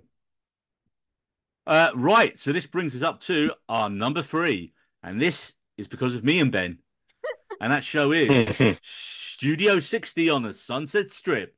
So, this is from the creator of The West Wing and starring the late great Matthew Perry in his first TV role since Friends. This was Sorkin's attempt at portraying the behind the scenes of a fictional late night entertainment sketch show based very strongly on Saturday Night Live. Perry starred as Matt Albie, a former addict who's the head writer of the show and still a bit of a loose cannon and a risk. And his best friend slash producer is Danny Tripp, played by Bradley Whitford from The West Wing as well. Now, on paper, this show should have been great, but it had one issue that many early reviews picked up on, and I kind of agree with, is that the sketch comedy parts of the show weren't actually very funny. And if you're writing a show about sketch comedy, the comedy actually needs to be funny. The drama going around like the TV station in the show, that was brilliant. That was pure Sorkin-esque, which you expected. Um, all the material involving Matt and Danny struggling with their personal issues, the network, the cast members, and each other, that was great. And look, Mm. generally, I love Sorkin's work, man. The West Wing is rightfully held up as one of the best shows of all time. I even saw Newsroom. Uh, was it the news? Yeah, Newsroom was brilliant as well. Newsroom. Newsroom was superb. That had three seasons. Again, that was sadly cancelled before its time. I even managed to watch Sports Night back in the day, which again, not. I think I, I don't even know how I acquired that back in the day, and that was really good. As much as I like Studio 60, though, I can see why it got cancelled because for me, the tone was all over the place. Sometimes you get a bit too political, but hey, that's what you get with Sorkin. And also, it felt a bit too preachy sometimes. But it's a perfect example of a show that, had it been given a second season, I'm sure it would have found its feet in an audience, and who knows where the show could have gone. Uh, the other issue for this as well, at the same time it came out on NBC, the home of Saturday Night Live, former Saturday Night Live head writer Tina Fey comes out of her sitcom 30 Rock, which was based on the same behind the scenes of a late night Saturday Night Live style show. And of course, getting the former head writer of Saturday Night Live to do this, it's going to feel a lot more authentic and also be a lot more funny. And sadly for Studio 60, 30 Rock was much funnier and also only 22 minutes an episode and not about a full hour like Studio 60 was. But Studio 16, Ben, what could have been? I mean, like it had it had legs, but it like not only was was Matthew Perry riding high on like the like coming out of the back end of of Friends and the movies he did with Bruce Willis, like the whole Whole Nine I think it was. He like it like the the ensemble cast was was phenomenal. I mean, is it Bradley Whitford like who like you know you don't know his name, but you've seen him in so many different things. Like he that their friendship for me was the thing that drove this drove the show. Oh, And honestly, I 100%. didn't, I didn't, I didn't care that the comedy wasn't funny in the sketches because it for me it wasn't about the sketches. It was just No. about it, that was just like that was like dressing, you know. Yeah, yeah. It was it was about what was going on behind the scenes, and I think that was lost. And I think the the fact that people wanted this because I mean, uh, there's no way they didn't know that Thirty Rock was being made. There's absolutely no way. So they want they wanted to make a different animal entirely, and people the, the people watching it just were like, well, you have to this this bit needs to be better and that bit needs to be better, but missing the point of the whole show, which was you know friendship under pressure and like and how do you how do you work in a cutthroat industry like like TV and still maintain any semblance of normality? I I just think it was it was brilliantly done, and I completely agree. Had it found had it had a second season, they would have like screwed down on the parts that worked, and it Mm. would have been glorious. They would have got some comedy writers in maybe to write the, the comedy stuff, but you know what do you what do you do when when your budget's pulled? Fucking nothing. Anyone else uh, watch Studio 60 or aware of the show? No. No, I was good a 30 Rock fan. You can be both, Yeah. Jose. You can be both. Not either either or. It's such an American tournament No. take, take on that. Ladies and gentlemen, Oh, is that what he has to say, Jose? this brings us to our number two. That was stitched together fine. I think this appeared on a, quite a few of our lists, which is why it is obviously is number two. really? And that show is Glow. Yes, Netflix's gorgeous Ladies of Wrestling show, which ran for se- three seasons and was promised a fourth and final season, and then COVID happened, and Netflix, decided to renege on their deal, and we never got a conclusion to the story. And I think that's what annoyed fans more is the way they took away the promise of an ending to the story. But firstly, what is Glow? Well, in the 80s, there was an actual gorgeous Ladies of Wrestling show, and many of the performances were actresses and models rather than sportswomen. Liz Flahive and Carly Mensch had seen the 2012 documentary about the original 80s glow, and that sparked their idea for the show. The central conceit of the show and the main two stars of the show were Alison Brie's Zoya the Destroyer, and even Russian re- Russian style heel, the bad guy in wrestling terms, and Betty Gilpin's all American face, the good guy, Liberty Bell. Best friends out of the ring, in the first episode at least, until we find out that Brie's character has been having an affair with Gilpin's husband, which nicely sets a path for these two characters to progress on with. Marc Maron is also in there as great as a promoter of the Blow, Sam Silver. It had a top 80 soundtrack with banger after banger. And of course, for me, it was about wrestling, which we all know I'm a big fan of. Uh, I'm assuming the planned season four would have seen Betty Gilpin's character get more involved in the network side of TV things because that was kind of hinted at at the end of season three. And it also looked like Ruth's character was more going to get involved in the behind the scenes of the, the booking and the planning of the show, maybe directing as well. So, uh, who wants to pile drive a Netflix executive? oh, this, this show is so good. I mean, I love that they incorporated a lot of the side characters so well. Like it took a while for them to be more involved, but eventually they kind of found their way. So I think that's what I really enjoyed is that like many shows that aren't good, they don't incorporate the side characters as well. And and so when you do that, you you you create a reason for the people watching to to really want to watch more. Yeah, what the show did well, it built out the side characters it went on. It gave them plots and storylines. You start with your key characters and then build out. TV 101, good TV 101 anyway. Ben. Loved it. Uh, so I again, I've only watched the first season, and like I was all in. I don't know what happened. I got sidetracked by something else, um, and it's one that I've I've meant to go back to time and time again. But that first season is is like perfect television. Like it's it it's it's got action, but you don't even realize it because of the wrestling like it's like it's got comedy because of like the the stylings of the uh, especially Alison Brie. You know, I mean, like a wonderful, wonderful actor. Um, and it's got it's got drama. Like it comes out of the gate, like it comes out hot, and it was brilliant. Uh, yeah, I, I I, I can't believe that it, it, I mean, I'm lucky I get to watch two more seasons, but it, it doesn't, you know, it doesn't resolve. So you know, I'm just uh, again, I'm just like, fuck. Do I really want to yeah. go on that journey? It kind of has a resolution to the season. Like they kind of knew they finished tied up a lot of the threads of this that series that season for, mm. for free. But they, it, I think, that, like I mentioned, it's we were told we were getting four, and then they mm. decided not to because of... yeah, I would say this is one of the few shows that didn't end on a cliffhanger. That if eh, knowing ahead of time. You're okay with the way it ends. It's like yeah, there's a few loose threads. There's a few seasons. loose yeah. threads, and they definitely do tease the following season of it, which is yeah, mm-hmm. said it's like a, a bit of a letdown. But, but Marie, big fan of Glow? Yeah, I mean it was number six on my list. Um, but I, yeah, I also really enjoyed the show, and I thought it was a very underrated show. Not many people were actually like knew about it and uh, was watching it. Maybe be also the reason for the Netflix cancellation. And also one thing it also did, it like made me want to made me watch the original documentary after I finished season one and it also made me fall in love in the world of women's wrestling. I thought that was just, just like such a cool story, and they did such a great job of adapting it. And yeah, it was one of those like the main cast was good, the ensemble cast were good, and it also was yeah really really funny. There were just uh, some really great moments there, and um, it's like it's I wouldn't yeah I I still say yeah there was gonna be there was room for there was a room for a final season. Yeah. I mean, it, it like I get because I did think season three would be the last one, but then they kind of teased it in the final episode, and I was just like, oh, we're getting more, great. And then yeah, it was.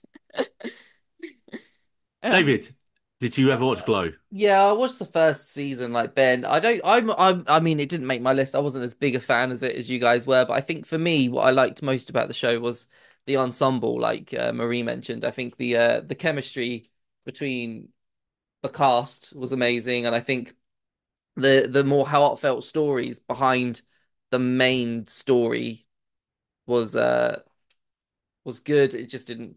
I I mean I don't know why I didn't watch the second season. There's no real reason I didn't. It just didn't. But what I liked is how they kind of work, like you say, when I worked in the summer. Like I didn't realize um, Kate Nash is like a famous pop singer. I, really? I just thought she, I didn't know she. I never heard of her though, and then she was like in the show. I was like, oh, she's just this British actress. No, I didn't know either. Yeah, she's like really well known uh, pop singer. And then um, who was the other character? Apparently not that Kia well known. Steve- Well, ish. You know, mate, you're in the industry. Uh, and then Kia Stevens, who played uh, Tammy Dawson. She's actually she's the only like proper pro wrestler woman in it, and she was on the verge of retirement in her actual career because just like injuries and because like the size she was, the bumps she'd taken over the years, and like the wear and tear. But they kind of think I think they got her on as like a consultant, and then she basically made a comeback out of it.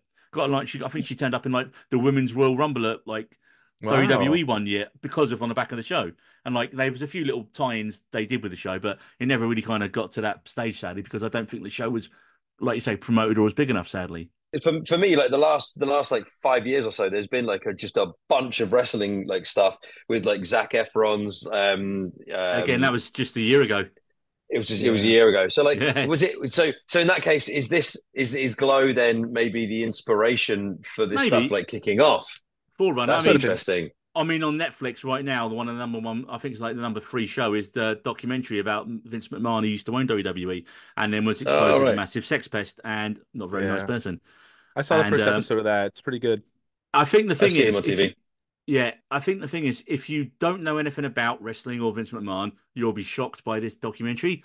If you've been a fan, you know there's nothing new in it, or at least there's Mm, not wow. nothing new I've seen so far. But um, yeah, um, I- I, think I think like WWE is going to Netflix in January, uh, so it's going to be massive. It's going to be bigger than you ever think it's going to be before now. You know, so. Wow. If we think it's big now, it's going to get even bigger when every one of the Netflix accounts can watch it. There'll be no pay per views anymore. There'll be it's just all going to be on there, all their content. I wouldn't be surprised if they have their own button on the side of. Have the they bloody- gotten rid of the WWE like the whole streaming service then? Because they had their Oh, own that's gone. service. Yeah, yeah, they did. Yeah, that's going to be going as well. Okay.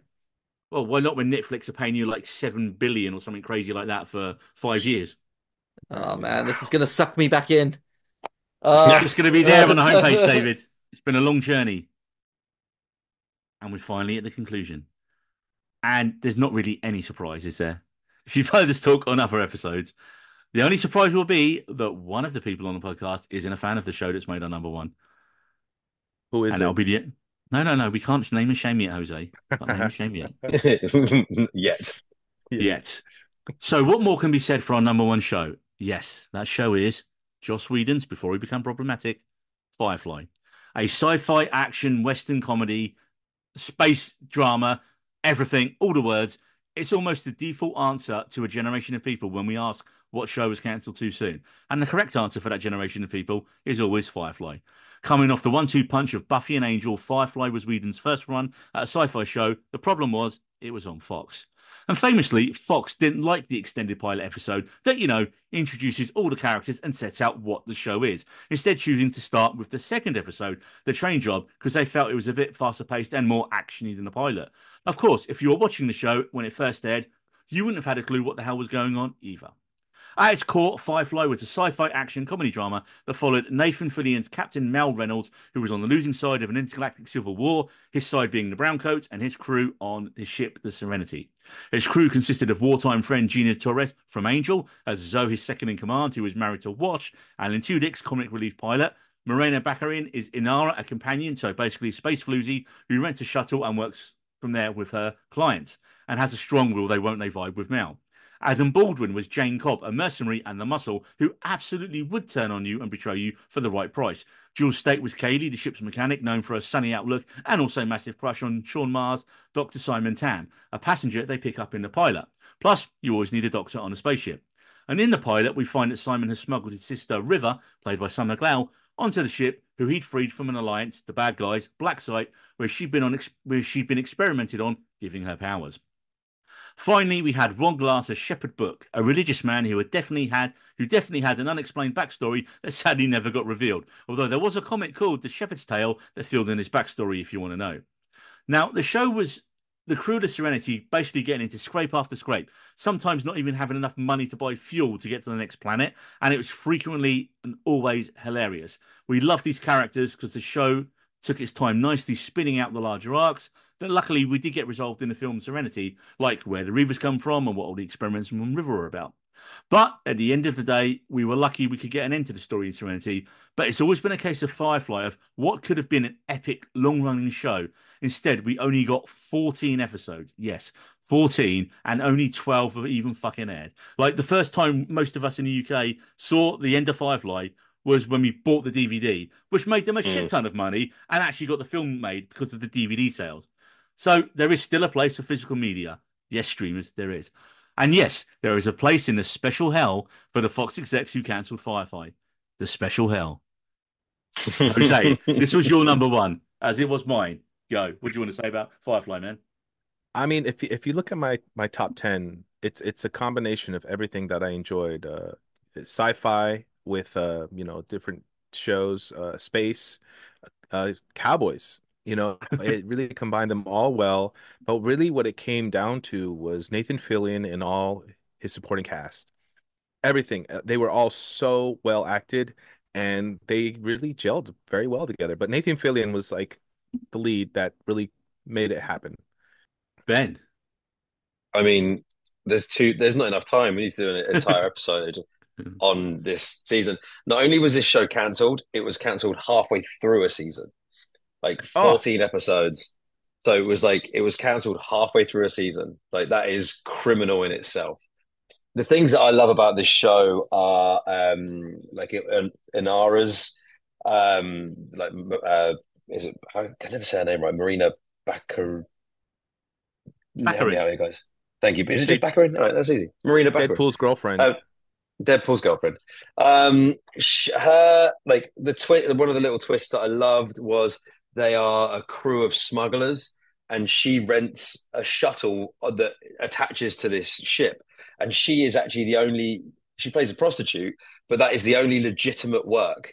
So you like it, it like prostitution is legal, and when they come to a planet, she's got loads of like legitimate work lined up. She goes off to be a prostitute, and it's like it's actually like it's done really well and they then go along and they're like they're the smugglers they're like doing the dirt like the, the the deals that are like getting them the money for the fuel or you know stuff but they you know they're a crew with a conscience as well like you you you think uh, one episode that they're smuggling gold and then it turns out when they actually go to sell it it's food uh like because it's wrapped in like got wrapped up to look like Was gold that bricks medicine? Was that medicine? That was a medicine one, wasn't it? Not food. Uh, no, there's. Is it the medicine? I don't know. No, it's they they because they say that they're bricks in that Ah, episode, okay. and they're stamped stamped alliance bricks, and then like she, he like they go to that planet where there's they're going to be um uh there- there's a trap waiting for them, and Jayne's Yeah, got yeah. like his fucking sniper rifle, and the the woman that he's selling them to opens one up and eats one,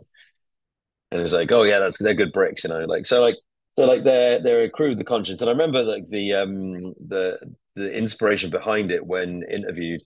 Um, it was it was like what happens when you think about like a, a crew in space. When you think about like the Millennium Falcon. So imagine like a, a bunch of like smugglers on the Millennium Falcon, like just ro- roving through space, just trying Yeah, to make ends it- meet. If a Star Wars show was literally just following around the Millennium Falcon on their smuggling runs, that was Yeah, kind of the idea, was wasn't it? And, and it was clever because they had like the when you get to the what they call the edge of space, they had the Reavers, which were these like inhuman humanoids that would like Space their, like, cannibals. Space cannibals that would cut their own flesh up and like destroy like ships so they they barely worked and they would have like radiation poisoning and they would like tear apart and like in the in the in the season like you never saw them but just the way that people talked about them and the way it was Yeah. acted around these reavers you were scared of them as what like watching the show Like um, genius. Jayne, Jayne, the big tough mercenary guy. It's the only time he looks scared in the whole series is when they mention the Reavers, and you're like, oh Yeah, shit, but- if he's scared, Yeah, he wants to he wants to fight anybody, but like if he runs and like he turns and runs and fucking you know you know it's big a big bad, but like having like there was clearly a story for them, and the and the movie like like gives you a, what is like fucking fantastic backstory on the Reavers, Yeah. genius level, like you know so yeah like everything comes together to to create like the ensemble cast the, the, the cast are fucking phenomenal. And they've all gone on to do like like really, really great stuff. But they are all incredible in this.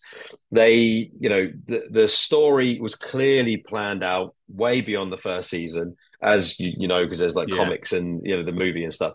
So you know it was really well thought out and it was a lot of love i think a lot of like a lot of like a genuine like care uh, put into this show that you know mixed perfectly space with a western because the further out in space from the central planets you get, the more people like have a little bit of Outlaws. technology. Yeah, you have a little bit of technology, but they're like terraforming planets, so they look like the Wild West because they're just becoming planets. So it was just really, really well put. It was a thinking person's sci-fi show, you know. But it was also really funny. It was so funny in every episode. I mean, there's a But I bit mean, where when, he, um, when he when he kicks that kicks that kicks that guy into the fucking jet engine, jet engine, and, yeah. and moves on to the next one. Yeah. Oh, it's Right. just. Are you going to tell me what you want to? There's a bit where um Jayne's trying to shoot someone who's been drugged, and he shoots a guy in like the arm or something, and he goes, "I'm." He goes, "Oh, good shot." He goes, "What do you mean? I missed. I was aiming for his head." It's like things like that, you know. When Mm. Mal accidentally doesn't realize a local custom, he ends up getting married, Yeah. and like yeah. the priest character just keeps going, "You don't take advantage of that girl. You're going to go to the special hell." Then he just pops his head back round the corner. He's like, "The special hell." And like it was just the human. It was so good, and um, there's so many big actors. as Well, that was um, oh, the girl from Mad Men. Before she became famous from Mad Men, she was in that. Oh yeah, yeah, yeah. Uh, Christina Hendricks. That was it. All But right. um, yeah. Right now, for a bit of counterpoint, someone who didn't love Firefly with all their heart, Ooh. Marie. Yeah, this wasn't on my list at all. Um, I Someone get the airlock. I never gelled with the series. I I did like the movie a lot better than I did like the series, but I don't think I even ever finished the series. I I do not know. Like I like I did the whole like I watched Buffy, I watched Angel, and then I thought, okay, the next step was to watch Firefly, and maybe because the legacy of it was just too big, it Mm. just did not live up to my expectations. Found it kind of boring, and Wow. um yeah it's just didn't click i i liked i did like the ideas of the concepts and maybe that's why i enjoyed uh, uh, enjoyed the movie more i did like the the whole idea behind the reavers and the whole conclusion that led to that was really good and um i really like that story but the rest, yeah, um, it it wasn't for me. Maybe I I'll give it another go as an adult, adult, uh, because like as a teenager, it didn't click at all. Um, but yeah, How far did you get into it? I think I did see like seven episodes. Okay. Okay. That's a, that's a good way. Like, I mean, I, I give something a very long time before I I Hmm. move on. I mean, Uh, Firefly was 2002. That's So very dated. I, I just wonder, like, um, friend of the pod, uh, Stu does a Stu World Order podcast. He does retro Buffy reviews, having watched it and really enjoyed it when he, I think he watched it and really, no, his wife watched it and really enjoyed it when it was first on. He never watched it, so he's rewatching it with his wife, and his reviews are hilarious because what looking at Buffy through a modern lens, it's so Oh. problematic in a lot of ways.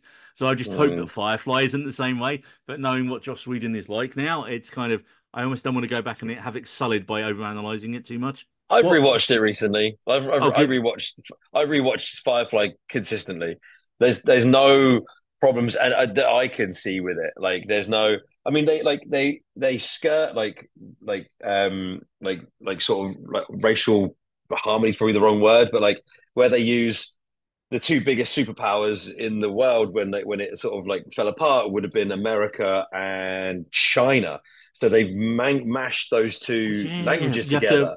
The Chinese so insults, the- I forgot about that. Yeah, so there's there's like there's like Chi- there's like Chinese like swear words and stuff in there and insults, but there's also like some so they describe stuff and if you look at all the signs in the background, there's a mix of like um uh like Chinese and like Western like language. Yeah. There was that in big movie- melding of the two, wasn't there, for the future, for the production design of the show. And also, they said swearing in Chinese meant they could get it past the censors. Yeah, but it was it was it was really clever, and I, you know, I mean, like there was um like there's a lot of stuff in that show that it I don't know it it was it was safe whilst also like exploring things that you want to explore. Like, what's it like to be a, a smuggler when, when you're on the wrong side of the law, but you are on the wrong side of the law for moral reasons? Like that was the part of it that like was really interesting to me. There was a strong moral code on that on, on that ship. Whereas like it's like again, it's the, the Star Wars comparison is there because there's like the the rebels, they're the rebellion technically. When you look at the news now, the rebels are the bad guys, and you know the governments would be the empire. So you know, like the the alliance, which was the empire, were the bad guys from their point of view. But the alliance are just trying to like terraform planets and make everybody live under their rule so they can have like civilization. So yeah, like I really love that that kind of uh, the exploration that you like it, morally are you if you're driven morally are you more right than you know like a, a bigger overarching government Nice, I'm, man. I'm- mean i'm punk rock i'm always going to say yes Uh, David, you have not chipped in on this one. Uh, well, t- I mean, to be honest, I watched it when I was about 15, maybe, maybe 15. 2002 it came out, so Yeah, I'm, I mean, I'm 32 now. So it was a while back. I can't really remember all that much of it. I just remember the chemistry between the the crew being amazing, and I remember being invested in the world that was created within like three episodes. And that's pretty much it. That's all I, I can remember. I can remember it being what like it's like it's like Heroes for me. It was like the potential of being one of the greatest shows ever if it wasn't so mismanaged. Uh, it's the it's a potential for me that's I mean, like we say, showing it out of order. And I, I think the problem is, I do think, and I can kind of take Marie's point on like the pilot episode is a little slow to get going because it has to introduce all the characters and set them up. And so I can see, I can, I'm not, not that I'm ever defending a Fox exec, but if you look at the train job, which is the second episode, and it's just boom, straight into action, bar fights, spaceships, uh, cattle, literal actual cattle they were transporting in that one, which is like the twist at the end when you get to the end of the uh, the, the the um the cargo bay and you imagine this treasure and it's actual cows. That was brilliant. I would just like to say one thing in terms of like how the show holds up. I I I'm kind of a fan of YouTube where I watch people reacting to movies and TV shows. It's kind of like an easy thing while I work. And uh, one of the most popular series I think is Firefly. They'll watch the series and then they'll cap it with watching the movie. And that's that's like something that has happened even more recently, I think, with new people getting back into that show because there's some young viewers out there who didn't really know anything about it. And I think that's it's it's one of those things where you see their reactions and they they make it through and they have a very positive experience. I wouldn't say they agree with some of us who watched it as it came out, but I feel like they usually tend to enjoy the sh the show and the movie. And then obviously some characters uh you know don't make it all the way through and then they are sad when they they pass away. So I I feel like it may not be as as like you said it has a lot to live up to, but I feel like if you just go go into it as a show that you wanted to enjoy, I think it's possible to do that. oh he's gone oh excellent right we're in charge team what do we Ah. What do we get away with? we can say Oh. anything we want he won't I wanna- interrupt us Amazing. I want to mention one show that I had on my list as number 10, but he didn't put it in the notes. Uh, Tell us, Jose, Quick, what you- is it? Don't let him cut you. Don't let Neil censor you. it's the show I Am Not Okay With This. It uh, it was on Netflix for one season. Cancelled. It's over, Jose. No, cut, cut. You cannot put someone in after one. Well, perfect timing there. And I'd like to thank my co-host for joining here today. I'd like to thank Marie. Oh, oh, we're ending abruptly. Okay, thank you. I'd like to thank David. Thank you, my man. I'd like to thank Ben. Read it out Yeah. Fantastic. Just hold it a little bit lower, and yeah. And I'd like to thank Jose. I Am Not Okay With This stars Sophia Lillis as Sydney Novak. No. And don't forget, if you enjoyed what you've seen today, you can see this or you've been watching it on YouTube. It's been a long pod and that didn't make any sense. Uh, yeah, golf clap. Golf clap for everyone. Well done, everyone. Well done, everyone. David stayed awake for about 90% Oh of it. my Jose, God, you have no idea how challenging that was. Jose didn't eat anything. I I don't mean, it's think no reflection podcast. on the he did content. he did I saw him eat something he definitely ate multiple something things. Multiple Yep. things. I And, drank uh, three yeah. different drinks as well. Every now and then, you just see Was the one of them your own urine? Jose's mouth. I beg your Would pardon. you? I beg your pardon. Two, Right. very different comments right there. And don't forget, if you like the podcast, give us a like and subscribe, like the kids say, on YouTube where you have been watching this episode. And of course, we are still available on all audio platforms, on your podcast platforms of choice. We're on Spotify, we're on Apple Podcasts, we're generally everywhere. You can't escape us. And also, since then, we have been nominated for an, an award at the Independent Podcast Awards for Golf Clap for Ben, no, Big Clap for Ben, and for our friend Phil, who isn't here but has never been on the podcast, for doing our theme music. Yes, we have been nominated for Best Theme Song at the Independent Podcast Awards. And hopefully, by the time this comes out, or maybe very shortly afterwards, we'll know whether we won or not. Will we have to make speeches? Will we have to go on stage? Will anyone else bar me actually be there? At the minute, no. no. I definitely won't. I'm gonna I'm gonna record my acceptance speech uh, and send it to you, so they have to play it on that big video I- screen. I can also Brilliant. do that if you if yes. no, David, because you're in the country and you don't excuse. You're in Norwich. Also, home. also what? Also, out of the two of us, only one of us actually wrote it. So I know, right? I'll, I'll accept it on your behalf. It's fine. It's great to be. I'm going to great to be here. Sorry, Ben can't be. He's LA. He's in LA on his way to Australia, wrangling rock stars. It's all written. It's all good to go, man. love it. And that's all the time we have today on this episode of the We Need Roads podcast. We'll see you next time, folks. We needed roads.